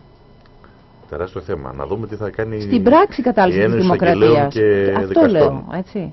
Λοιπόν, έτσι ήθελα να το αναφέρω γιατί μέσα σε όλα μου Πάντως ήταν με όλα, περισσότερο αυτά, παρά με η όλα λίστα. αυτά να μας επιτρέψετε να, να α, σας θυμίσουμε το, το ακροτελεύτιο άρθρο του συντάγματος 120 παράγραφος 4 όπου λέει ότι η τήρηση του συντάγματος επαφίεται στον πατριωτισμό των Ελλήνων οι οποίοι επιλέγουν τη μορφή αντίδρασης ε, τη, τη μορφή με την οποία θα αντιδράσουν ενάντια στη βίαιη κατάλυση του συντάγματος. Αυτά τα ολίγα και συνεχίζουμε. Ωραία, συνεχίζουμε γιατί έχουμε μεγαλώσει ως παρέα. Έχουμε το, το παλιό μας νόριμο και καλό μας φίλο το Μάνο Κακλαμάνο στη γραμμή. Μάνο, μας ακούς; Καλημέρα σας, βεβαίως σας ακούω. Καλημέρα. Λοιπόν, καλώς μας ήρθες. Καλώς σας βρήκα. Εδώ σ- δεν ξέρω αν μας έχεις ακούσει καθόλου. Σχολιάζουμε λίγο, βγάζουμε, ξέρεις, όλο αυτό το, το θυμό με όλα αυτά που έγιναν εχθές και τις τελευταίες μέρες. Ε, με όλα αυτά που ζήσαμε. Τα Η ζήσαμε. πλάκα είναι ότι είναι πάλι ευχαριστημένος ο Σαμαράς, πάλι κάτι πέτυχε. Τώρα άλλη Πέρασε. δήλωση περίμενε, πάλι νικητής είναι ο Σαμαράς, ό,τι και να γίνει σε αυτόν τον τόπο, ο Σαμαράς είναι πάντα πετυχημένος νικητής. Είναι το Μόνο στο ενδιαφέρον. μυαλό του τώρα, τι να κάνουμε. Τι Ο να κάνουμε. Σαμαράς είναι νικητής, ο λαός να δούμε τι γίνεται. Ναι, ναι, και ο Σαμαράς είναι νικητής στο μυαλό του μόνο. Εγώ, Μόνος του θεωρεί ότι θα υπάρξουν αναπτυξιακά μέτρα, μόνος του μας λέει για την επιμήκυση, μόνος του μας είπε ότι η Μέρκελ μας κράτησε στο ευρώ. Πού τα είδε όλα αυτά δεν μπορούμε να καταλάβουμε. Έχουμε έναν πρωθυπουργό μάγο. Έχουμε έναν μάγο πρωθυπουργό. Επίσης, αν, μου, αν μπορώ να το εκμεταλλευτώ σαν πάσα αυτό για να σας να βάλω άλλο ένα θέμα στο τραπέζι που θα σας Βάλε, αρέσει. βάλε. βάλε τώρα εδώ, τα χωράμε Ε, όλα. Ο, ο Σαμαράς μόνος του επίσης μας έλεγε μια ζωή ότι είναι μονόδρομος στο να ξεπουλήσουμε τη δημόσια περιουσία, το ονομάζει αποκρατικοποίηση. Γιατί εντάξει, α, και για τους ακροατές που μας ακούνε, είναι άλλο πράγμα να θες να εκμεταλλευτείς ένα κίνητο, ένα κτίριο, και άλλο πράγμα να ξεπουλάς και τις υποδομές της χώρας. Αλλά, εν πάση περιπτώσει, ας πάμε τώρα στα κίνητα, που υπάρχει, υπάρχει στη σκέψη πολλών Ελλήνων ότι εντάξει, ένα κίνητο ας το εκμεταλλευτούμε. Αν είναι προς το συμφέρον της πατρίδας, τι να κάνουμε τώρα, ας το εκμεταλλευτούμε, ας το αξιοποιήσουμε. Ας το νοικιάσουμε για 99 χρόνια. Δεν το πουλάμε, το νοικιάζουμε για 99 χρόνια. Ε, το όλος ο στόχος των αποκρατικοποιήσεων δεν ήταν να έρθει ξένο χρήμα στην Ελλάδα. Δεν ήταν να φέρουμε τους επενδυτές. Κάτι Άραβες δεν πήγαινε ο Πάγκαλος με τον Γιωργάκη του Παπανδρέου, μάλλον με τον αδελφό του Γιωργάκη του Παπανδρέου, του πρώην φερόμενος πρωθυπουργού, να φέρει. Κάτι τέτοιους δεν πηγαίνουν στην Αμερική να φέρουν ξένους επενδυτές και ξένο χρήμα. Ξεκίνησε λοιπόν το μεγάλο πρόγραμμα αποκρατικοποίησεων. Το γράψαμε στο Χωνί την προηγούμενη Κυριακή. Η πρώτη μεγάλη αποκρατικοποίηση που την περίμεναν πώς και πώς για να αλλάξει λέει, το κλίμα στην Ελλάδα, αυτή είναι η μεγάλη τους επιτυχία, είναι το κτίριο του IBC, το ραδιοτηλεοπτικό μέγαρο. Αυτό το περιβόητο κτίριο που στεγάζει στο Golden Mall. Να σας πω λίγο τα στοιχεία και μετά να βρίζουμε να βοηθήσω στην οργή των ε, ακροατών μας. Το Golden Mall το νοίκιαζε ο Όμιλος Λάτσι, η εταιρεία Lambda, δομή ΑΕ, Ναι. η θυγατρική της Lambda Development του ομίλου Λάτσι, είχε κλείσει συμφωνία από το 2007 και μέχρι το 2042 με ετήσιο εγγυημένο μίσθωμα 8,5 εκατομμύρια ευρώ. Ήταν 8 με τις προσαυξήσεις 2% τα πρώτα 15 χρόνια, τα άλλα 15 σταθερά στα 9,5. Εγώ κάνω μια ήπια εκτίμηση, ακολουθώντας το παράδειγμα του Καζάκη, ο Καζάκης μου το έχει μάθει αυτό. Το λιγότερο, πολύ λιγότερο, εγώ σας λέω 8,5 εκατομμύρια ευρώ ετήσιο εγγυημένο μίσθωμα. Παραπάνω είναι, αλλά ας πάρουμε ως βάση τα 8,5. Τα επόμενα 30 χρόνια και μέχρι το 2042 λοιπόν το ελληνικό δημόσιο θα εισέπρατε από την Όμιλο Λάτσι κάντε τον πολλαπλασιασμό 30 χρόνια επί 8, ούτε καν 8,5 που βγαίνει ο μέσος όρος, επί Ναι. 8, 240 εκατομμύρια θα έπαιρνε το ελληνικό δημόσιο. Κάνει λοιπόν, το βγάζεις στις αποκρατικοποίηση, στην αποκρατικοποίηση στο μεγάλο project των αποκρατικοποιήσεων και το δίνουνε για 90 χρόνια προς 81 εκατομμύρια ευρώ.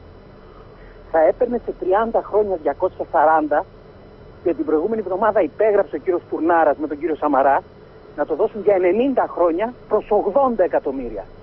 Και όχι το ίδιο ακριβώς και μεγαλύτερη έκταση, άλλα 22 στρέμματα από πίσω και άλλα γραφεία και ένα που μέχρι τώρα δεν τα είχε στη δούλεψή του, στην εκμετάλλευσή του. Στο 1 8 της τιμής για το τριπλάσιο χρόνο. Τώρα, κάποια στιγμή αυτό το γράψαμε στο χωνί, το είναι πολύ φυσιολογικό. Θα σας πω πράγματα που συμβαίνουν πολύ φυσιολογικά στην παράλογη Ελλάδα του 2012. Δεν το έπαιξε κανένας. Κανένας δημοσιογράφος δεν το θεώρησε θέμα αυτό. Ε, Κανένας. λάτσες ρε παιδί μου, κάτσε. Λάτσις. Λάτσις ακριβώς. Λάτσις και Eurobank, γιατί μόνο οι τράπεζες δίνουν Ε, λεφτά. αυτό βέβαια. σου έλεγα τώρα, διαφήμιση. Ε. Έτσι, μπράβο, ωραία. Αυτά τα καταλάβαμε. Είναι στον παραλογισμό της Ελλάδας. Ακούστε το άλλο. Βγάζει απάντηση το ΤΑΙΠΕΔ. Γιατί μέχρι τώρα ήταν ένα θεμα, μια θεματάρα, ένα σκάνδαλο. Αν σας πω την απάντηση του Ταϊπέτ, το σκάνδαλο πολλαπλασιάζεται επί δύο. Το Ταϊπέτ τι βγαίνει και λέει; Λέει ότι είναι, παρα, είναι πώς μας είπε, απλοϊκό το να υπολογίζεις ότι πόσα θα έπαιρνες και πόσα θα πάρεις διότι σου λέει τα 81 εκατομμύρια που θα μας δώσουν σήμερα 90 χρόνια μετά θα αξίζουν κοντά ένα δις. Δηλαδή θα τα, θα τα επενδύσουν αυτοί όπως έχουν επενδύσει και τα είναι, προηγούμενα. Είναι τα οικονομικά τύπου Κόνστα γιατί ο κύριος Κόνστας. Αν δεν κάνω λάθος είναι εκπρόσωπος τύπου Ταϊπέρ και όπως μου είχε πει σε μια, σε μια ραδιοφωνική αντιπαράθεση στη Θεσσαλονίκη αυτός έχει σπουδάσει στην Κίνα οικονομικά. λοιπόν, με, με δεδομένο το ξεπούλημα της αρκούδας υπό το αυταρχικότερο καθεστώς της Ιφιλίου που είναι στην Κίνα, καταλαβαίνεις τι οικονομικά έχει σπουδάσει αυτός ο τύπος. Μια ερώτηση. Την επόμενη φορά λοιπόν που ο κύριος Κώστας ή ο νέος πρόεδρος του ΤΑΙΠΕΔ θα πάει να, κάνει, να πουλήσει το σπίτι του, θα το πουλήσει με μια τιμή που θα είναι λογική 90 χρόνια μετά. Ε, βέβαια. Έτσι δεν είναι; Ε, βέβαια. Γιατί αλλιώς, γιατί αλλιώς έχουμε κακουργηματική ζημία του δημοσίου με αυτή την πράξη που έκαναν. Θα παίρναμε 240, τα είχαμε δεδομένα και παρετήθηκε το δημόσιο από τα 240 Για τα να 30 πάρει χρόνια. 80 για τα 30 χρόνια για να πάρει 80 σε 90 χρόνια. Και σου λένε ότι αυτή είναι μια τρομερή επιτυχία του ελληνικού δημοσίου, διότι λέει έτσι αλλάζουμε το κλίμα των αγορών. Θέλω να κάνω ένα σχόλιο, δώστε μου λίγα δευτερόλεπτα. Ε, αλλάζει. Ναι, παιδιά. Αυτό είναι σίγουρο. Το, το, το λένε όλοι οι επιχειρηματίες από χθες καταρχάς. Ακούω τον Αλλάζει. κύριο Μαΐλη το πρωί από το Γιατί- Γερμανικό Μελητήριο. Μας έλεγε συνέχεια ότι Δεν αλλάζει το ανάλυση κλίμα. Γιατί αλλάζει, αλλάζει γιατί τώρα καταλαβαίνουν ότι όντως η Ελλάδα ξεπουλάει. Ε, βέβαια. Μέχρι τώρα, Αυτό μέχρι ακριβώς. τώρα Σαμαράς ανακοίνωνε αποκρατικοποίηση. Αλλά δεν ερχόταν κανένας να επενδύσει. Σου λέει πρέπει να κάνουμε μία για να αλλάξει το κλίμα. Γιατί; Για να δούνε όντως τα κοράκια ότι όντως αυτοί ξεπουλάνε. Για να δείξουν το τίμημα. Για να δείξουν. Αυτό σημαίνει ότι αλλάζει. Αυτή είναι η ανάλυση του που μας την πλασάρουν σαν σλόγκαν και πάει και πείθεται ο Έλληνας που δεν μπορεί να καταλάβει λίγο παραπάνω τι μας λένε, τι μας κάνουν και τι λένε. Ας συνειδητοποιήσει ο Έλληνας. Δεν του σώζει τίποτα. Απλά δεν το έχει συνειδητοποιήσει ακόμα. Αλλάζει το κλίμα γιατί βγάλανε την ταμπέλα ξεπουλάμε το θετικό τρελάθηκε. Ε, βέβαια, τώρα θα αλλάξει. Βέβαια, τώρα θα έρθουν τα κοράκια. Αυτό είναι το ότι το κλίμα αλλάζει του κυρίου Σαμαρά. Το θέμα είναι ότι αυτός είναι ο μπούσουλας για, όλη την, ε, το, για όλο το ξεπούλημα. Έτσι. Και Αυτό συγγνώμη πρέπει να να πω και καταλάβω. κάτι άλλο. Το ρωτάμε από την προηγούμενη εβδομάδα. Το ρωτάμε και δεν μας έχουν απαντήσει ακόμα. Θέλουμε να μάθουμε αν τα 80 εκατομμύρια τα έχουν δώσει σε ρευστό ή σε ομόλογα. Εγώ σε Α. πληροφορώ ότι το, το πιθανότερο είναι ούτε το ένα ούτε το άλλο. Δηλαδή τι εννοείς εσύ; Όπα. Τι, όπα. τι, τι έχουν δώσει. Την θα είναι υπογραφή; εικονική λογιστική εγγραφή η οποία θα περνάει από τράπεζα σε τράπεζα, από την τράπεζα της Ελλάδος στην, στην Eurobank και δεν πρόκειται να υπάρξει πουθενά κανένα χρήμα. Έχει ξαναγίνει η δουλειά Ξέρεις, αυτή. αυτό μας έχει αφήσει άφωνου, δεν ξέρω αν το έχει καταλάβεις. Έχει ξαναγίνει αυτή η ιστορία. Λες να μην δώσει ούτε ευρώ. Ούτε ευρώ, ξέρεις τι, και θα γίνει, και θα, γίνει, ε, θα ανακαλύψουν ξαφνικά ότι υπάρχουν κάποιες οφειλές ε, ε, του δημοσίου προς τον κύριο Λάτσι ε, σε κάποιες ιστορίες και θα ισοφαρίσουν αυτά τα πράγματα δύο και δεν πρόκειται να υπάρξει τίποτα. Ε, Δημήτρη, δεν μπορεί να γίνει τέτοιος συμψηφισμός γιατί εγώ που χρωστάω στο ΤΕΒΕ και μου χρωστάει συμψηφισμό δεν μου κάνουν και πρέπει να πληρώσω. Ναι, αυτά αλλά που δεν σε λένε χρωστάω. Λάτσι όμως Α, εσύ. απαγορεύεται λόγω Α, του δεν νόμου με λένε συμψηφισμός. Λοιπόν, και πάρε Ναι, υπόψη σου ναι, ναι. αυτά που έβγαλε, τα στοιχεία που έβγαλε και ο Σφωτόπουλος, ο συνδικαλιστής Ναι. Γενοπδεή, που Ναι, ναι. πώς αναπροσαρμοστήκαν τα τετραγωνικά του κύριου Βοβού και των Βέβαια. διαφόρων άλλων προκειμένου να μην πληρώσουν το Το χαράτσι. χαράτσι. Ε, Βέβαια. Α τον Έτσι. κύριο Βοβό. Αυτό είναι Ο, ο της κύριος άλλης Βοβός πάει για πτώχευση, δεν είδε. Αυτό Αυτό, να μου πεις. αυτό, Αυτό να μου πεις. αυτό ο κύριος Βοβός ε, φαλιμέντο λέει. Σε λίγο θα πάει στο Ταμείο Ανεργίας. Έτσι. 300 ευρώ. Ναι. Αυτά του φωνή της άλλης Κυριακή. Ναι. Πάντως, ε, να σας πω και κάτι άλλο. Ο- και επίσης πρέπει να υπολογίσουμε σε αυτή την ιστορία ότι ο πρώην πρόεδρος του ΤΑΙΠΕΔ ήταν και στέλεχος του ομίλου Λάτσι όταν γινόταν η συζήτηση. Ο πρώην, αυτός που παρετήθηκε, Ναι, ο κ. ναι. Μητρόπουλος, αν δεν κάνω λάθος. Ε, Ναι. Έχει Ε, πλούσια ε, επαγγελματική δραστηριότητα. Επίσης, σώθηκε και η Eurobank τώρα με την εθνική. Ναι. Γενικότερα, ας πούμε, το Λάτσι τον αγαπάμε στη χώρα. Δεν είναι, είναι φιλέλλην πολύ και εμείς φιλολατική χώρα. Είναι από την εποχή, κοίταξε να δεις κάτι, είναι από την εποχή του καπετάν α, Γιάννη, ο οποίος ε, προσεφέρει εξαιρετικά στον τόπο, όταν στην περιοχή της Κιλίνης και της Ηλίας, ας πούμε, πήρε τα συμβόλαια τροφοδοσίας του Ιταλικού στρατού και έτσι έφτιαξε περιουσία. Ήταν τροφοδότηση του Ιταλικού στρατού. Ξέρεις πώς ήταν οι τροφοδότες τότε Ναι. στην κατοχή. Ε, πηγαίνανε ναι. στους Έλληνες αγρότες και τους λέγανε, ξέρετε, ο Ιταλός, οι Ιταλικές δυνάμεις κατοχής ζητούν το 80% της οδειά σας. Και αμέσως ο Έλληνας αγρότης έλεγε, παρακαλώ, πάρτε το 90%. Δεν υπάρχει κανένα πρόβλημα.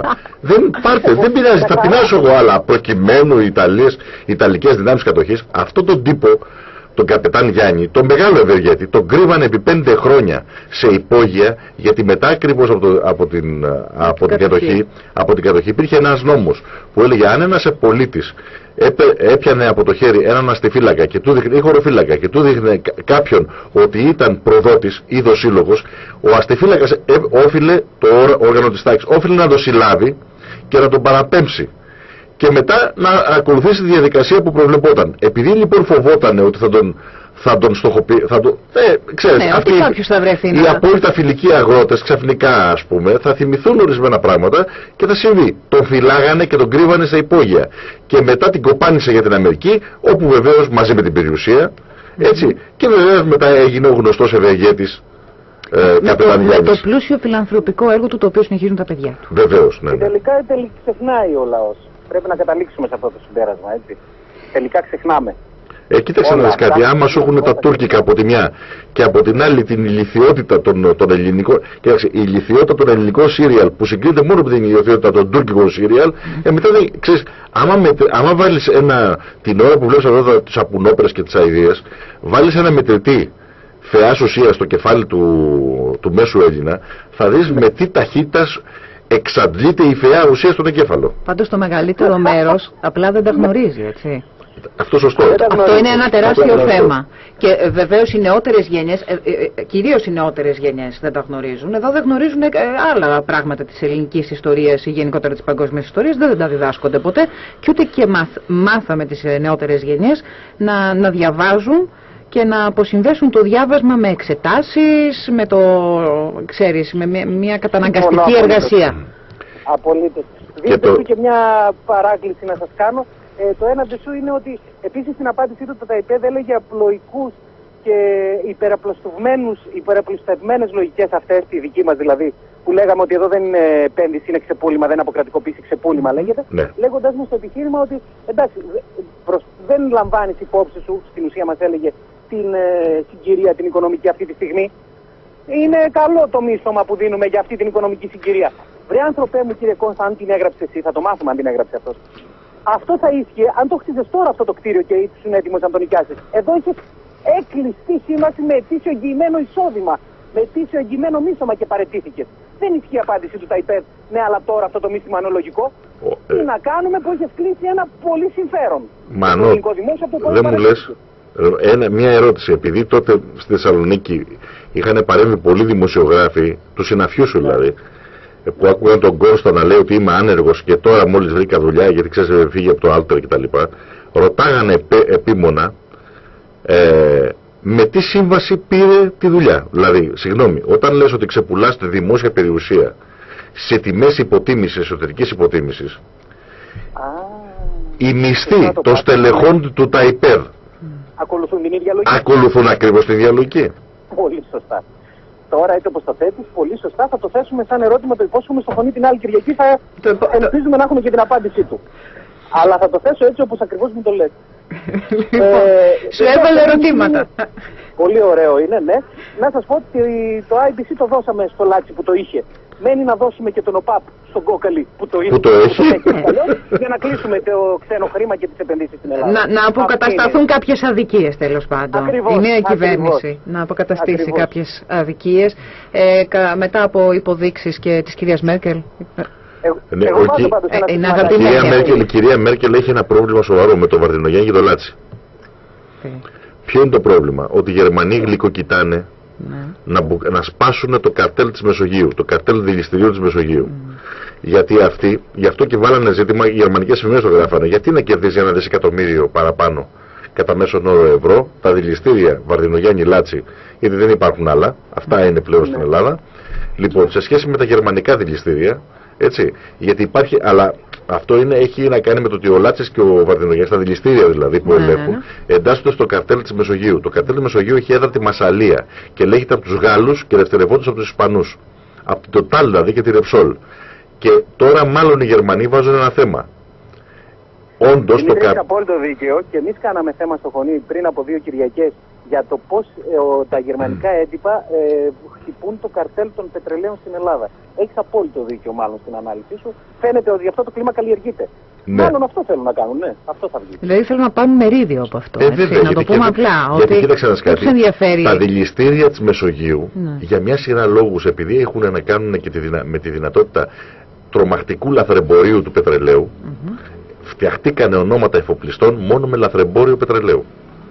Άνθρωπος ο οποίος ξεκίνησε ιδιοκτήτης σχολής οδήγησης σήμερα έχει μια από τις μεγαλύτερες ναυτιλιακές εταιρείες με ένα τεράστιο κτίριο που κανένας δεν ξέρει καλά πώς τα βρήκε. Δηλαδή να γίνω κι εγώ ρε παιδιά. Ναι. Έχω κι εγώ ένα φίλο που με έμαθε κιόλας να οδηγώ, ας πούμε, που έχει σχολεί. Αυτός γιατί δεν έγινε εφοπλιστής. Ε, δεν, Μάπας είναι. δεν είχε πιάσει τους Τι είναι, σωστούς μαθητές. Μάλλον. λοιπόν, το, αυτό λοιπόν.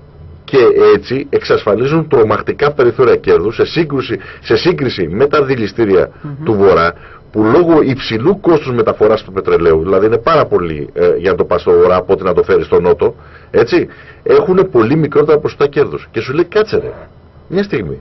Γιατί αυτοί και όχι και εμείς. Και όχι και εμείς. Αυτή είναι η όλη Α, ιστορία. είναι τόσο απλή η λογική. Μάλιστα. Πολύ ωραία. Μάνο, Έτσι. δεν ξέρω αν θες Σας να, χαιρετώ. να προσθέσεις κάτι. Σε ευχαριστούμε πάρα πολύ που ήσουν στην παρέα μας σήμερα και σε Ακούω με ευχαριστούμε. ενδιαφέρον τη συνέχεια. Να είσαι καλά και καλή συνέχεια, καλή δύναμη. Λοιπόν, μ' αρέσει αυτό το σήμα, είναι σαν φυτίλι που ανάβει. Τέλος πάντων, εκπομπή ΑΕ εδώ στις 2 και μισή θα συνεχίσουμε. Δημήτρης Καζάκης, Γεωργία Μπάστα. Ε, με όλα αυτά που συμβαίνουν, τα, τα διάφορα τα πούμε πολλά, λίγα. μου έλεγες κάτι ωραίο τώρα στο, Ναι. στο διάλειμμα. Θα το πούμε. Απλά επειδή παίρνουν πάρα πολλά μηνύματα με ερωτήματα κτλ. Ναι. Συνεχίστε να στέλνετε μηνύματα. Θα τα απαντάμε τα ερωτήματα. Μην, μην σας παίρνει από κάτω το γεγονός ότι... Τα απαντάμε τα μηνύματα μέσα σε διάφορες εκπο... στις εκπομπές. Έτσι, Ναι, έχουμε, ναι. ε, παίρνουμε υπόψη μας και τα μηνύματά Ναι, σας. ξέρεις ρε παιδιά, δε- κάτω τώρα κάτι, κάτι μηνύματα που παίρνω, ας πούμε, τι να κάνω, έχω 10.000 ας πούμε ευρώ, τι να τα κάνω. Ναι. Αυτά δημόσια δεν μπορούμε να τα πούμε, ούτε μπορούμε να τα... Κατανοητή η αγωνία του ανθρώπου που το απόλυτα στέλνει, κατανοητή και έτσι, δικαιολογημένη, αντιλαμβανόμαστε, αλλά... αλλά- δεν μπορούμε να μπούμε σε αυτή τη διαδικασία. Το μόνο ας πούμε που μπορούμε να ε, πούμε είναι το ε, να ε, διευκρινίσουμε ότι ε, επειδή ρωτάνε πολύ ότι είναι μέχρι τις 14 ε, Οκτωβρίου πρέπει να- λοιπόν, ναι. η, Η συλλογική. συμμετοχή στη συλλογική αγωγή που έχει αναλάβει το ΕΠΑΜ ενάντια στα α, Και καθαριστικά της καθαριστικά εφορίας. της εφορίας. Αυτό δεν σημαίνει ότι θα λήξει τις 14 του μηνός.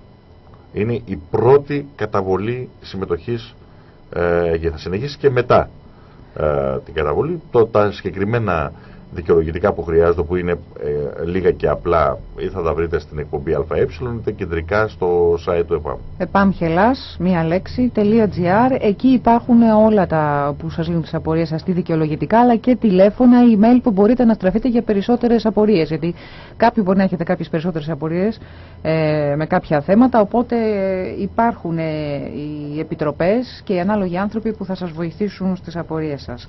Λοιπόν, έως τις 14 Οκτωβρίου είναι η πρώτη συμμετοχή.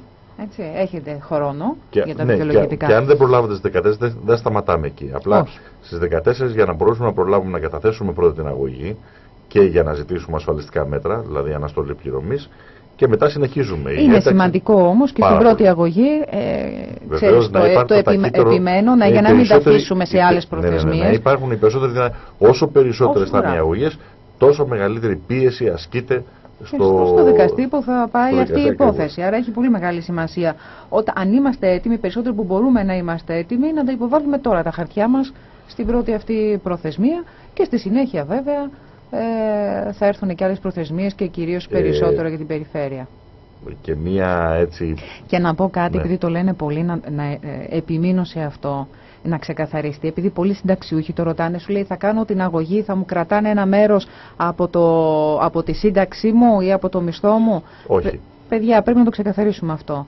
θα πάμε σε ασφαλισ... να ζητήσουμε την πρώτη απόφαση που θα ζητήσουμε, το νομικό τμήμα δηλαδή του ΕΠΑΜ που θα κάνει, είναι αναστολή έτσι, οποιασδήποτε ενέργειας του εν- δημοσίου Μπράβο. σε βάρος του φορολογουμένου που, εκκρεμω...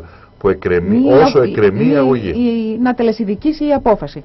Αυτό σημαίνει ότι δεν μπορεί να αξιώσει το δημόσιο οτιδήποτε από εσάς σε ό,τι αφορά τη συγκεκριμένη οφείλη πάντα. Έτσι.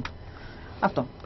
Τώρα, ε, επειδή ένας φίλος μου, έστειλε το, μου έστειλε ένα μήνυμα και καταλαβαίνω τον ανταγωνισμό αυτό, υπάρχει ένας άτυπος ανταγωνισμός ή μια, σωστότερα να το πούμε, μια άτυπη άμυλα Ναι. ε, με πολλούς Από τους ακροατές φίλους ή ακροατές. αναγνώστες, Μμ. ας πούμε, που προσπαθούμε να πιάσουμε ένα τον άλλον τι δεν ξέρει και τι ξέρει. Λοιπόν, Για λέγε. ε, ο Θωμάς ο Ακινάτης δεν είναι Γερμανός. Βεβαίως δεν ήταν Γερμανός. Δεν έγραψε ποτέ ότι ήταν Γερμανός. Όταν στο κείμενο αναφέρουμε ο Μέγας διδάσκαλος εκ Γερμανίας, Ναι. δεν αναφέρομαι στον Θωμά τον Ακινάτη που ποτέ δεν είχε τον τίτλο του Μέγα διδασκάλου. Αυτός είναι ένας τίτλος που αποδίδεται σε στοές και αναφέρεται στο Σόιμπλε. Ο Σόιμπλε δεν ξέρω αν είναι μασόνος, αλλά ανήκει στην ναζιστική στοά. Ναζιστικές στοές δημιουργήθηκαν με επι- επο- επί εποχής Αντενάουερ στο Χριστιανοδημοκρατικό κόμμα, Μμμ. ώστε να μπορούν να στεγάσουν τις, ε, ου- ε, τις οικογένειες εκείνες των Ναζί και να τους προστατεύσουν πολιτικά. Μέγας διδάσκαλος λοιπόν εκ Γερμανίας αναφέρεται στο Σόιμπλε και ο καθένας μπορεί να το καταλάβει και μόνο με τον τρόπο που γράφεται το Μέγας διδάσκαλος με μη και δέλτα κεφαλαίο. Μάλιστα. Έτσι διευκρινιστικά. ας πούμε. Ωραία. Συνεχίζουμε όμως πάντως την άμυνα. Θα δούμε. Λοιπόν, μου αρέσει πολύ αυτός ο διάλογος, ξέρεις. Ε, για πες μας τώρα και τα στοιχεία που έχεις. Τα, αφήσαμε, τα Ναι, καλά τα αφήσαμε έχει. για το τέλος. Έχουμε μια σημασία τώρα, επειδή συζητάμε ας πούμε, για το τι γίνεται με τους, ε, με τους Έλληνες. Ο κύριος Φούκτελ, ας πούμε, συζητώντας το ελληνογερμανικό επιμελητήριο, Ναι. Μας είπε ότι το μεγάλο πρόβλημα της ελληνικής αγοράς εργασίας, γιατί λέει αυτοί λέει, μελέτησαν πολύ, λέει, μελέτησαν λέει, τα σκανδιναβικά μοντέλα, μελέτησαν ξέρω εγώ, τα αφρικανικά μοντέλα, με- μελέτησαν τα μοντέλα του Σύριου, της Ανδρομέδας, του Αλφα του Κεντάβρου, όλα τα μοντέλα τα Μήπως να περιοριστούν στη Ζιζέλ, επειδή λες για μοντέλα. Ε, ναι, ξέρω εγώ, ναι. Μπα, δεν νομίζω ότι έχει τέτοιο πρόβλημα. Αυτό μάλλον είναι άλλο πρόβλημα είναι Α, αυτός. Είναι το αδελφάτο του υποτόπου το στο παιδί. χειλής τραπέζης. Άρα δεν. Λοιπόν, Αλλού να εξού και στραφεί. το, το περιβραχιόνιο που φοράει στο Αυτό κεφάλι. το ωραίο, ναι, το Λοιπόν, περουκίνι. Ναι, ε, ο κύριος Φούχτελ λοιπόν, ο οποίος αν και αθέσμητος έχει κατασταθεί εδώ στη χώρα και δίνει εντολές και, ε, και κάνει παρατηρήσεις σε όλους, ακόμη και στον Περιφερειάρχη Ρόδου του έλεγε με, με ποια, τι εισιτήριο ε, θα κόψει στο πλοίο για να πάει στο Περιφερειακό Συμβούλιο. Τέτοια πράγματα έχουμε φτάσει σε ίδιο σημείο. Τέλος πάντων, ο, αυτός που τα δέχεται, τα δέχεται. Σωστά. Έτσι αλλιώς ο συλλογισμό είναι. Λοιπόν, είπε λοιπόν ότι το μεγάλο πρόβλημα στην αγορά εργασίας της Ελλάδας είναι ότι έχουμε πολλούς στρατηγούς και λίγους στρατιώτες. Τι εννοούσε; Εννοούσε ότι τα πανεπιστήμια μας βγάλουν πάρα πολλούς επιστήμονες. Μάλιστα. Βεβαίως, σε μια οποιαδήποτε πολιτισμένη και ανεπτυγμένη κοινωνία, το να βγάζεις πολλούς επιστήμονες είναι πραγματικά α, ευλογία Θεού. Δηλαδή, είναι ένα πολύ συγκρι- μεγάλο συγκριτικό πλεονέκτημα για την εξέλιξη του λεγόμενου ανθρωπίνου κεφαλαίου. Με εισαγωγικά βεβαίως. Ο όρος είναι σχηματικός. Εδώ βεβαίως, σε μια, σε μια χώρα όπου οφείλουν, οφείλουν οι στρατηγοί να είναι Γερμανοί, οι αξιωματικοί, και οι, Οι στρατιώτες, στρατιώτες. δηλαδή το ανειδίκευτο προσωπικό, να είναι Έλληνες, δεν νοείται να βγάζουν τα πανεπιστήμια. Οπότε τι πρότεινε; Αντί για πανεπιστήμια, να επεκτείνουμε την επαγγελματική κατάρτιση. Τι σημαίνει αυτό δηλαδή; Δηλαδή δεν έχει λόγο να έχουμε ένα ενιαίο σύστημα παιδείας όπου πραγματικά να προσφέρει παιδεία, Ναι. παιδεία υποδομής ώστε να μπορεί να, να βγάζει επιστήμονες από το πανεπιστήμιο. Πρέπει να έχεις ένα σύστημα παιδείας το οποίο να προάγει την επαγγελματική κατάρτιση. Η επαγγελματική κατάρτιση βγάζει τεχνίτες. Ναι. Στην καλύτερη των περιπτώσεων για να μην πω τίποτα χειρότερο. Λοιπόν, αυτό το πράγμα προορίζεται για τον κύριος Φούχτελ. Αυτή την τεχνογνωσία έρχονται να μας φέρουν, όπως λένε Οι τα ομάδες λαμόγια. εργασίας Ναι. που θα μας έρθουν εδώ. Ναι, κάτι απίστευτη ράκοσυλλέκτες της δημοσιο, δημοσιογραφίας μας το παίζουν και μεγάλα ονόματα. Εντάξει, και είναι μπλεγμένοι σε ό,τι βρώμια υπάρχει σε αυτόν τον τόπο.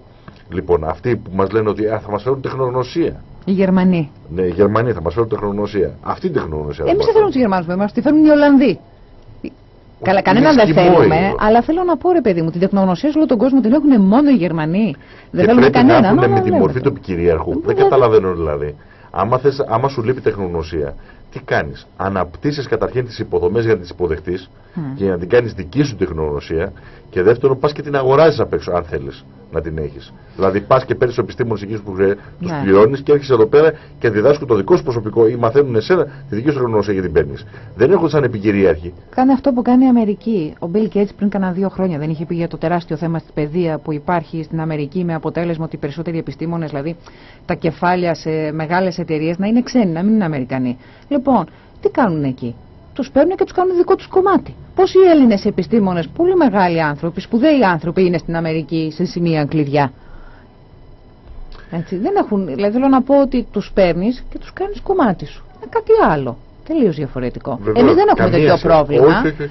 ε, Γιατί εμείς δίνουμε Για επιστήμονες μας. έξω στο εξωτερικό. Τεχνογνωσία. Ναι, εμείς εξάγουμε. Εμείς εξάγουμε επιστήμονες. Δηλαδή, από πού και ως πού δηλαδή εμείς χρειαζόμαστε εισαγωγή τεχνογνωσίας όταν χρειαζόμαστε. εξάγουμε Μπράβο. τεράστιο όγκο τεχνογνωσίας, πώς το λένε, ε, διώκο, με υπο, υποκαθεστώς ε, δίωξης του επιστημονικού δυναμικού που παράγει η χώρα. Λοιπόν, ε, και έχουμε. υπο- ε, και το, εντάξει, αυτό θα το πω. Δηλαδή, δεν μπορεί, δεν, την εικόνα του δεν μπορεί να μου φύγει από το μυαλό. Α πούμε, που είχα δει αυτόν τον κύριο Λικουρέντζο, Ναι. Λικουρέτζο, ξέρεις, τι μου θυμίζει, ας πούμε, σκουράντζο, ξέρεις, αυτό το πράγμα. λοιπόν, ο οποίος έλεγε σε μια εκπομπή να πω μια σκέψη. Και δεν του είπε κανένας, κύριε Λικουρέτζο, μας εκπλήσετε. Έχετε σκέψη. Και δεν- Να βάλετε το βράδυ θερμόμετρο, διότι περνάτε περίοδο ξυπνάδων. λοιπόν, είναι δυνατό τώρα αυτό το πράγμα, αυτά τα, τα, τα, τα μόφορα, ειλικρινά, να μιλάνε για ότι θα μας φέρουν τεχνογνωσία. Ποιοι ρε παιδιά, ο Αυγουλομάντης και ο Σκουράτζος. δηλαδή, έλεος. που Ωραίο. διώχνουν κατά εκατοντάδες χιλιάδες τους νέους επιστήμονες από εδώ. Ναι. Δηλαδή, τρελαίνεσαι. Α, τέλος πάντων. Λοιπόν.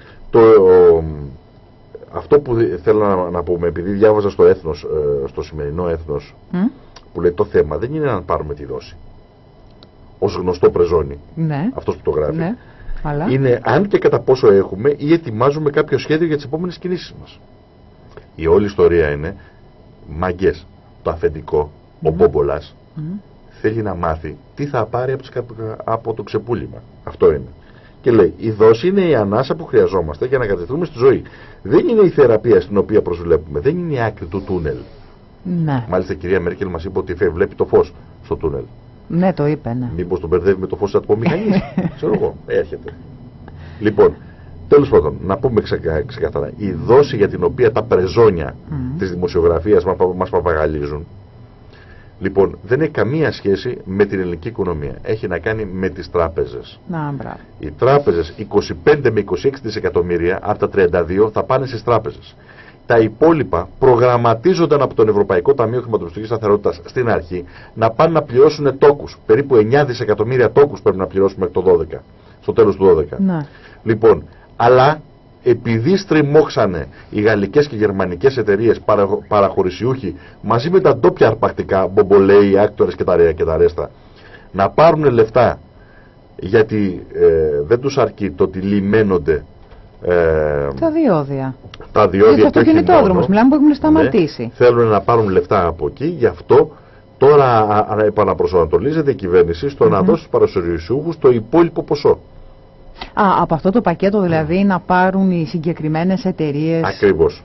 δεν θα πάνε καθόλου σε οφειλές του δημοσίου γιατί λέγανε ότι, Καμία. τουλάχιστον- κα- ότι 2 δισεκατομμύρια βέβαια χρωστάει 8 όπως ή- διαβάσαμε πριν από λίγες Ναι, ναι. ημέρες κοντά 8 δισεκατομμύρια Θα είναι χρωστάει 9 στο τέλος το του 12. ελληνικό δημόσιο και λέ- έλεγαν ότι τουλάχιστον τα 2 δισεκατομμύρια από αυτό το πακέτο να πάει σε κάποιες υποχρεώσεις του Ναι, δημοσίου λέγε με μπόμπολα, λέγε με χόκτη, λέγε Ναι. με... Όχι, εγώ θεωρούσα ότι σε μικρομεσαίες επιχειρήσεις και Βέβαια, τέτοιους ανθρώπους οι οποίοι οπωσδήποτε. πια είναι, ξέρεις, με τη θηλιά στο λαιμό. Ναι, είναι μωρέ. ένα βήμα πριν... Για ε, αυτούς ακριβώς γίνονται όλα. Ναι. Τέτοια δηλαδή συμπαράσταση στο μικρομεσαίο, τι να σου πω. Έτσι, ούτε η ΕΣΕΣ. Στο μικρομεσαίο θα σου απαντήσει η κυβέρνηση ότι επειδή δίνει χρήματα στις τράπεζες θα δώσουν δάνεια οι τράπεζες. Πάμε τώρα στις τράπεζες. Άντε πάλι, ξέρεις. Λοιπόν, οι περίφημες εκθέσεις που βγήκανε τώρα Τι ε, εκθέσεις; και τις σχολιάσανε δι- δίθεν δημοσιογράφοι ότι είναι κα, κόλαφος για την Ελλάδα κτλ. Μμ, του Δουνουτού. Ναι, η- το Δέλτα, το Δέλτα Νιτάφ, οι εκθέσεις αυτές δεν αφορούν την Ελλάδα. Είναι εκθέσεις που αφορούν, η μία είναι για την ε, χρηματοπιστωτική σταθερότητα της παγκόσμιας οικονομίας και η δεύτερη είναι το World Outlook, δηλαδή είναι το πώς πάει ο κόσμος από εδώ και μπρος, έτσι, με παγκόσμια- μια επιτομή της παγκόσμιας οικονομίας. έχει ενδιαφέρον ορισμένα στοιχεία να, να πούμε. Το πρώτο, η Ελλάδα, το δημόσιο χρέος της Ελλάδας, στο τέλος του 12 υπολογίζεται 171%. Ναι. Στο τέλος του 12. Σημειωτέων ότι στο τέλος του 11 το δημόσιο χρέος της Ελλάδας ήταν 168%. Άρα έχουμε μία αύξηση σε ποσοστιαίες, σε ποσοστία αναλογίας στο ΑΕΠ της τάξης των τριών εκατοστιαίων μονάδων. Κατά τα άλλα PSI μειώθηκε το χρέος και όλα αυτά. Λοιπόν, ναι. Πάμε τώρα. Παραπέρα. Τα νοικοκυριά χρωστάνε, έχουν συνολικό χρέος της τάξης του 70% στο ΑΕΠ. Το 70% στο ΑΕΠ δεν λέει τίποτα, γιατί το ΑΕΠ δεν ανήκει σε όλα τα, τα νοικοκυριά. Θα πρέπει να πάμε στο καθαρό εισόδημα. Στο καθαρό λοιπόν εισόδημα, το 70% γίνεται περίπου 93%.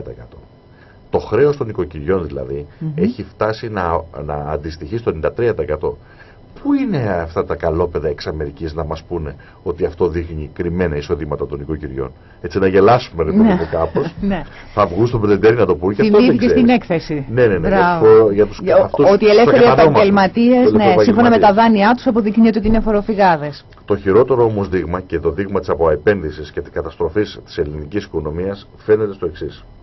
Ότι σε όλες τις εταιρείες τις μη χρηματοπιστωτικές όλες, όλες δηλαδή οι εταιρείες εκτός από τα χρηματοπιστωτικά ιδρύματα, δηλαδή τις τράπεζες. τράπεζες.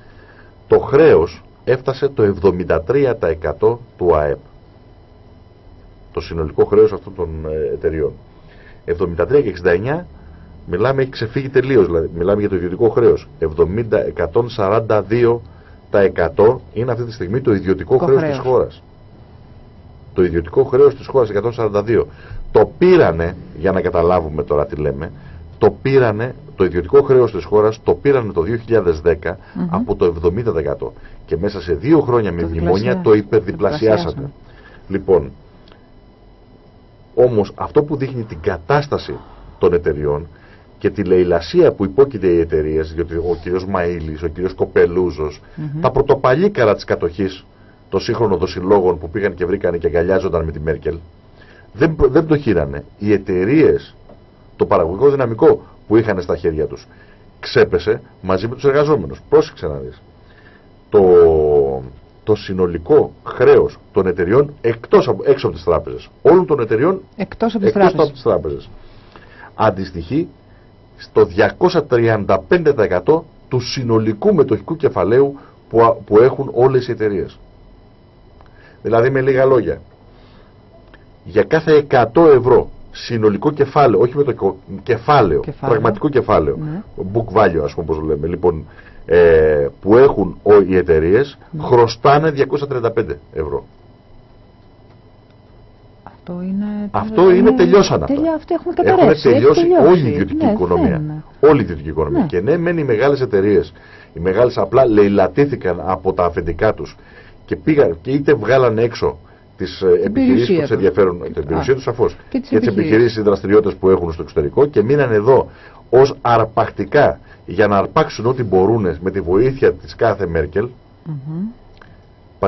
θα ήθελα να τους πω το εξής, αυτό που έλεγα χθες ε, όταν είχαμε συναντηθεί χθες, επειδή συναντηθήκαμε μετά από, από, από καιρό με τον Μάνο ναι. και τον Γιώργο Χριστοφορίδη, τους έλεγα το εξής, ρε παιδί μου. Δεν σκέφτονται λιγάκι αυτοί οι κοπελούζοι, οι Βαρδινογιάννηδε, όλοι αυτοί ότι η κατάσταση αυτή είναι σίγουρο δεν πρόκειται να κρατήσει. Ή θα πάει στα πολύ μαύρα της, ή, ή, θα γίνει μια καμία κοινωνική εξήγηση. Έτσι. Mm Λοιπόν, δεν σκέφτονται λιγάκι ότι στα βαθιά γεράματά τους, γιατί όλοι αυτοί δεν είναι τζόβενα, mm. εντάξει, πόσο άσχημο είναι να τους κυνηγάνε bounty hunters γιατί θα τους, θα τους επικηρύξουμε και θα τους επικήρυξουμε άσχημα. Μ' αρέσει που είσαι, ξέρεις, πολύ σίγουρος σε αυτό. Αυτό, αυτό καλά δηλαδή, είναι... δηλαδή, εγώ, ε, αν δεν το δω να τους επικηρύσουμε, εγώ δεν γουστάρω. Εγώ θα τους διώξω. Δηλαδή, πώς πώς κάνανε οι Ναζί παλιά. Ναι, ναι. Που λέγανε τρέξε και άμα γλιτώσεις από το πολυβόλο, ας πούμε, ναι, γλιτώσεις. Ναι, έτσι, ναι. αυτό το πράγμα. Εγώ θέλω να, να φύγουν, ας πούμε, για να, για να έχουμε τη χαρά να τους δούμε συνδεδεμένου. Να πάμε να τους φέρουμε πίσω κατά αυτόν τον τρόπο. Και έτσι, αυτό στα βαθιά γεράματά τους να τους σέρνουν για, για το κακό που έχουν κάνει σε αυτή τη χώρα και σε αυτό το λαό. Να τους σέρνουν, να τους ξεφτυλίζουν σε τέτοιο βαθμό ώστε πραγμα... να τους φτύνουν όλοι.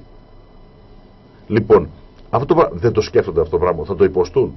Ότι δεν μπορεί να γλιτώσουν πουθενά. Τώρα νομίζω ότι ζούμε στην πλήρη αλαζονία της εξουσίας. Έτσι, πράγμα. Ναι, καλά, όπου να είναι. Δεν νομίζω ότι σκέφτονται Στη στροφή του δρόμου είμαστε. Λοιπόν, Δημήτρη. πάμε παρακάτω. Οι δε τράπεζες, και εδώ είναι πραγματικά το, τρε, το τραγικο έτσι, έχουν δικό τους χρέος 40%. Ωραία. Ναι, Πόση κεφαλαιακή επάρκεια έχουν. έχουν; Καθίστε καλά. 1,5%. Δηλαδή ανύπαρκτα. Τίποτα. Και μάλιστα 1,5% κεφαλαϊκή ε, επάρκεια έχουν οι τράπεζες. 1,5%. Τελειώσαν αυτές. Έχουν τελειώσει. Για να καταλάβεις ας πούμε η Ιρλανδία έχει 16,2. Η Ιταλία 9,5. Η Πορτογαλία 9,1. Η Ισπανία 10,5. Μάλιστα. Οι δικές μας 1,5.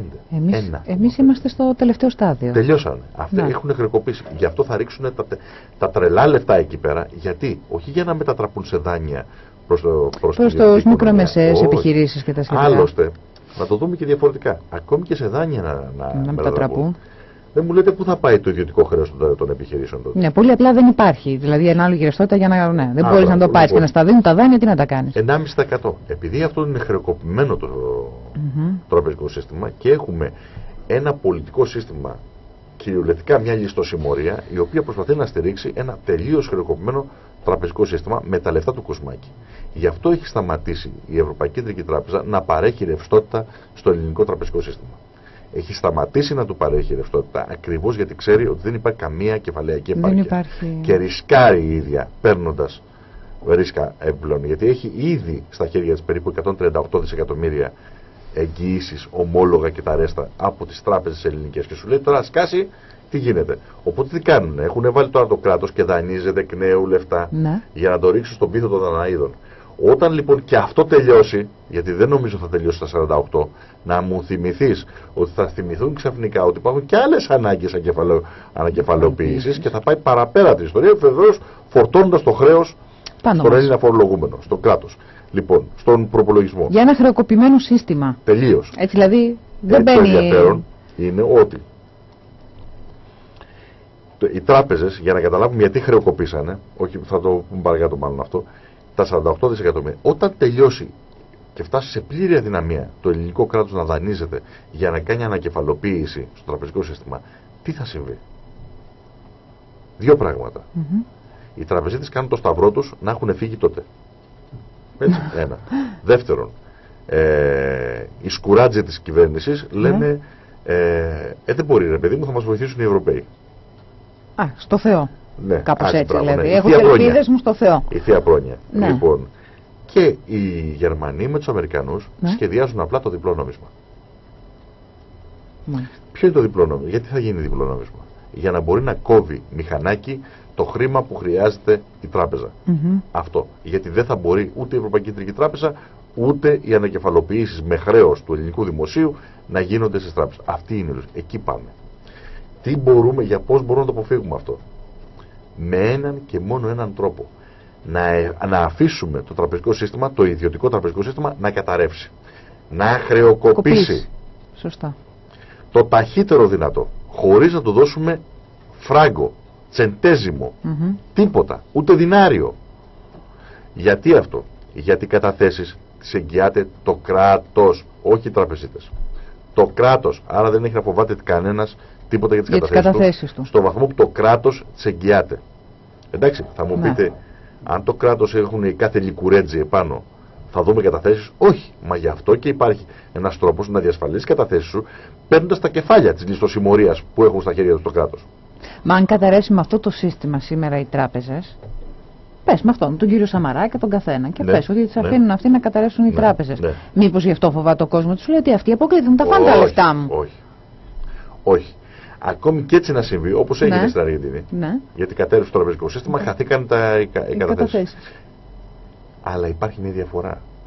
Σε μια τέτοια κατάρρευση χάνονται τα εργαλεία άσκησης επιβολής και εξουσίας από την ιστοσημόρια. Και έτσι ο λαός θα βγει στους δρόμους και θα, τρα... θα ζητάει κεφάλια επιπίνακε. Και αυτή όπου φύγει, φύγει και μην τον είδα τον Παναή. Και τα λεφτά του πρακτικά που θα τα πάρει ο άλλος; Άμπρα, το εγγυάται το κράτος. Γιατί η καινούργια κυβέρνηση που θα αναδειχθεί επάνω, Ναι. που θα είναι η κυβέρνηση που θα βγει από το λαό, όπως βγήκε ο Κίχνερ Ναι. και είπε, παιδιά εντάξει σταματήστε, μην ανησυχείτε, θα το λύσουμε. Τι τους είπε; Το, για γράφω το χρέος, το γνωστό, Ναι. και σας εγγυώμαι εγώ ότι θα πάρετε πίσω τα λεφτά σας στις καταθέσεις. Και, τις, και τα πήρανε πίσω όλα οι Αργεντινοί. Οι Αργεντινοί μόλις ε, πριν έξι μήνες έληξε το θέμα των, κατα, των χαμένων καταθέσεων. Επιστράφηκαν όλα τα λεφτά πίσω. Σε ένα χρονικό διάστημα βέβαια. Σε ένα χρονικό διάστημα, μετά την κατάρρευση. Α, Εγώ α, λέω, Σημαίνει όμως και η κατάσταση των τραπεζών ότι ε, διαγράφονται και τα δάνεια; Άμπραβο, των ιδιωτών μιλάω πάντως. δηλαδή. των ιδιωτών. Δηλαδή το 235, 235% Ναι. χρέος των, εται, των εταιριών Ναι. διαγράφεται, γίνεται μηδέν. Όπως διαγράφεται και το χρέος των οικοκυριών. Μάλιστα. γίνεται μηδέν. Και αυτό δεν επανέρχεται. Διότι όταν χρεοκοπεί ένα τραπεζικό σύστημα, όχι μια τράπεζα, ένα τραπεζικό σύστημα, Ναι. το κράτος είναι υποχρεωμένο να το ανοικοδομήσει από μηδενική βάση. Μα... Από μηδενική βάση. Και αν έχει το δικό του νόμισμα, το χρηματοδοτεί χωρίς χρέος. Χωρίς δάνεια. Σωστά. Χωρίς χρέος. Όταν έχει το δικό του νόμισμα Το βέβαια. δικό του νόμισμα. Λοιπόν, αν, το, αν δεν έχει το δικό του νόμισμα, ούτε να καλύψει τους καταδέχτες μπορεί, ούτε να ανοικοδομήσει το τραπεζικό σύστημα μπορεί, ούτε τίποτα από όλα αυτά. Γι' αυτό λυσάμε και λέμε εθνικό νόμισμα. Εθνικό κρατικό νόμισμα. Ενώ εμείς τώρα τι κάνουμε; Έτσι κάνουμε μια σούμα. Ε, τους δίνουμε χρήματα τα οποία τα αποπληρώνουμε εμείς, ε, δηλαδή θέλω να πω οι πολίτες, παίρνοντας τα δάνεια αυτά, Ακριβώς. έτσι, και ταυτόχρονα τους αποπληρώνουμε και δάνεια Τους αποπληρώνουμε. με απίστευτους τόκους Δεν και το συζητάμε. άλλα απίστευτα που έχουν και κάνει. τους δίνουμε το προνόμιο. Έτσι, και έχουμε υποθηκεύσει την περιουσία μας. Δηλαδή Ακριβώς. από Όχι όλες τις μόνο αυτό. Πλευρές. Θα τους, δώσουμε το, θα τους δώσουν το προνόμιο της, αγγ- του αγγλικού μοντέλου. Τι Ναι. είναι το αγγλικό μοντέλο; Θα βάλουν τον κακομύρι, τον οφειλέτη που τους χρωστάει ένα κάρο λεφτά γιατί είναι καταχρή... Μα είναι καταχρεωμένο τώρα με αυτά τα... ναι. Μάλιστα είναι πολύ ωραίο ας πούμε, αυτό που το λέει και ο Μάριος νομίζω ότι είναι πολύ δίκαιο και, πολύ δίκαιο και θα το αναλύσουμε. Θα αναλύσουμε την πρόταση για τα υπερχρεωμένα νοικοκυριά που έκανε ο ΣΥΡΙΖΑ να δείτε ότι το γράψανε οι τραπεζίτες. Μμμ. Δεν το γράψανε τα στελέχη του ΣΥΡΙΖΑ. Οι τραπεζίτες το γράψανε. Να το πούμε αύριο μάλλον μάλλον για να αυτό. πάρει κεφάλαιο. Μάλλον Ναι. για να πάρει δάνειο ο ΣΥΡΙΖΑ. Ναι. Ε, λοιπόν, πρόσεξε να δεις τι γίνεται.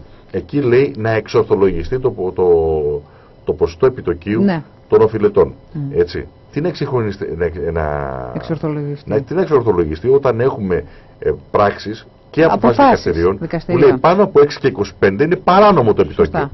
Και ο ΣΥΡΙΖΑ θέλει να το πάει στο 12. Ναι, Νο, αν δεν κάνω λάθος, το 12 θέλει να το πάει. Είναι, Δεν λέει, είναι δεν κάπου- λέει, εντάξει. εξορθολογισμός λέει. Με ποια κριτήρια εξορθολογισμός, δε παιδιά; Γιατί ο εξορθολογισμός με βάση τον τοκογλύφο, έτσι, μπορεί να είναι να πουλήσουμε τη γυναίκα τα παιδιά μας και εμείς τους ίδιους. Δηλαδή δεν είναι και αυτός Θες να το εξορθολογισμός. συνεχίσουμε αυτό αύριο να πούμε Βεβαίως. για τα τράπεζες και τα, ε, για όλη αυτή την ιστορία που είναι πολύ ενδιαφέρουσα και εντάξει ο κόσμος την- ε, έχει πάρα πολλές απορίες πάνω σε αυτά τα ζητήματα ε, και θέλει αναλυτικά να ακούσει όλες αυτές τις, ε, Και τις να δούμε πληροφορίες. πώς, πώς οριμάζει και ο ΣΥΡΙΖΑ να λάβει την κυβέρνηση Ναι, ναι. φτιάχνοντας Τι σημαίνει νομοσχέδια ορίμαση. καρμπών για, σα- για τα συμφέροντα των, των τραπεζών. Ναι. Να το πούμε αυτό αύριο. Το κρατάμε λοιπόν αστερίσκο. Υποχρέωσή μας αύριο να συνεχίσουμε αυτή τη κουβέντα. Λοιπόν, ε, είναι δύο και μισή, άρα πρέπει να παραδώσουμε το μικρόφωνο στον Χάρη Μπότσαρη. Εκπομπή ΑΕ στο τέλος της για σήμερα. Δημήτρης Καζάκης, Γεωργία Μπάστα. Να είστε όλοι καλά. Καλό αγώνα. Μέχρι αύριο στη μία που θα είμαστε πάλι μαζί σας. Εδώ στο Nart FM στους 90,6.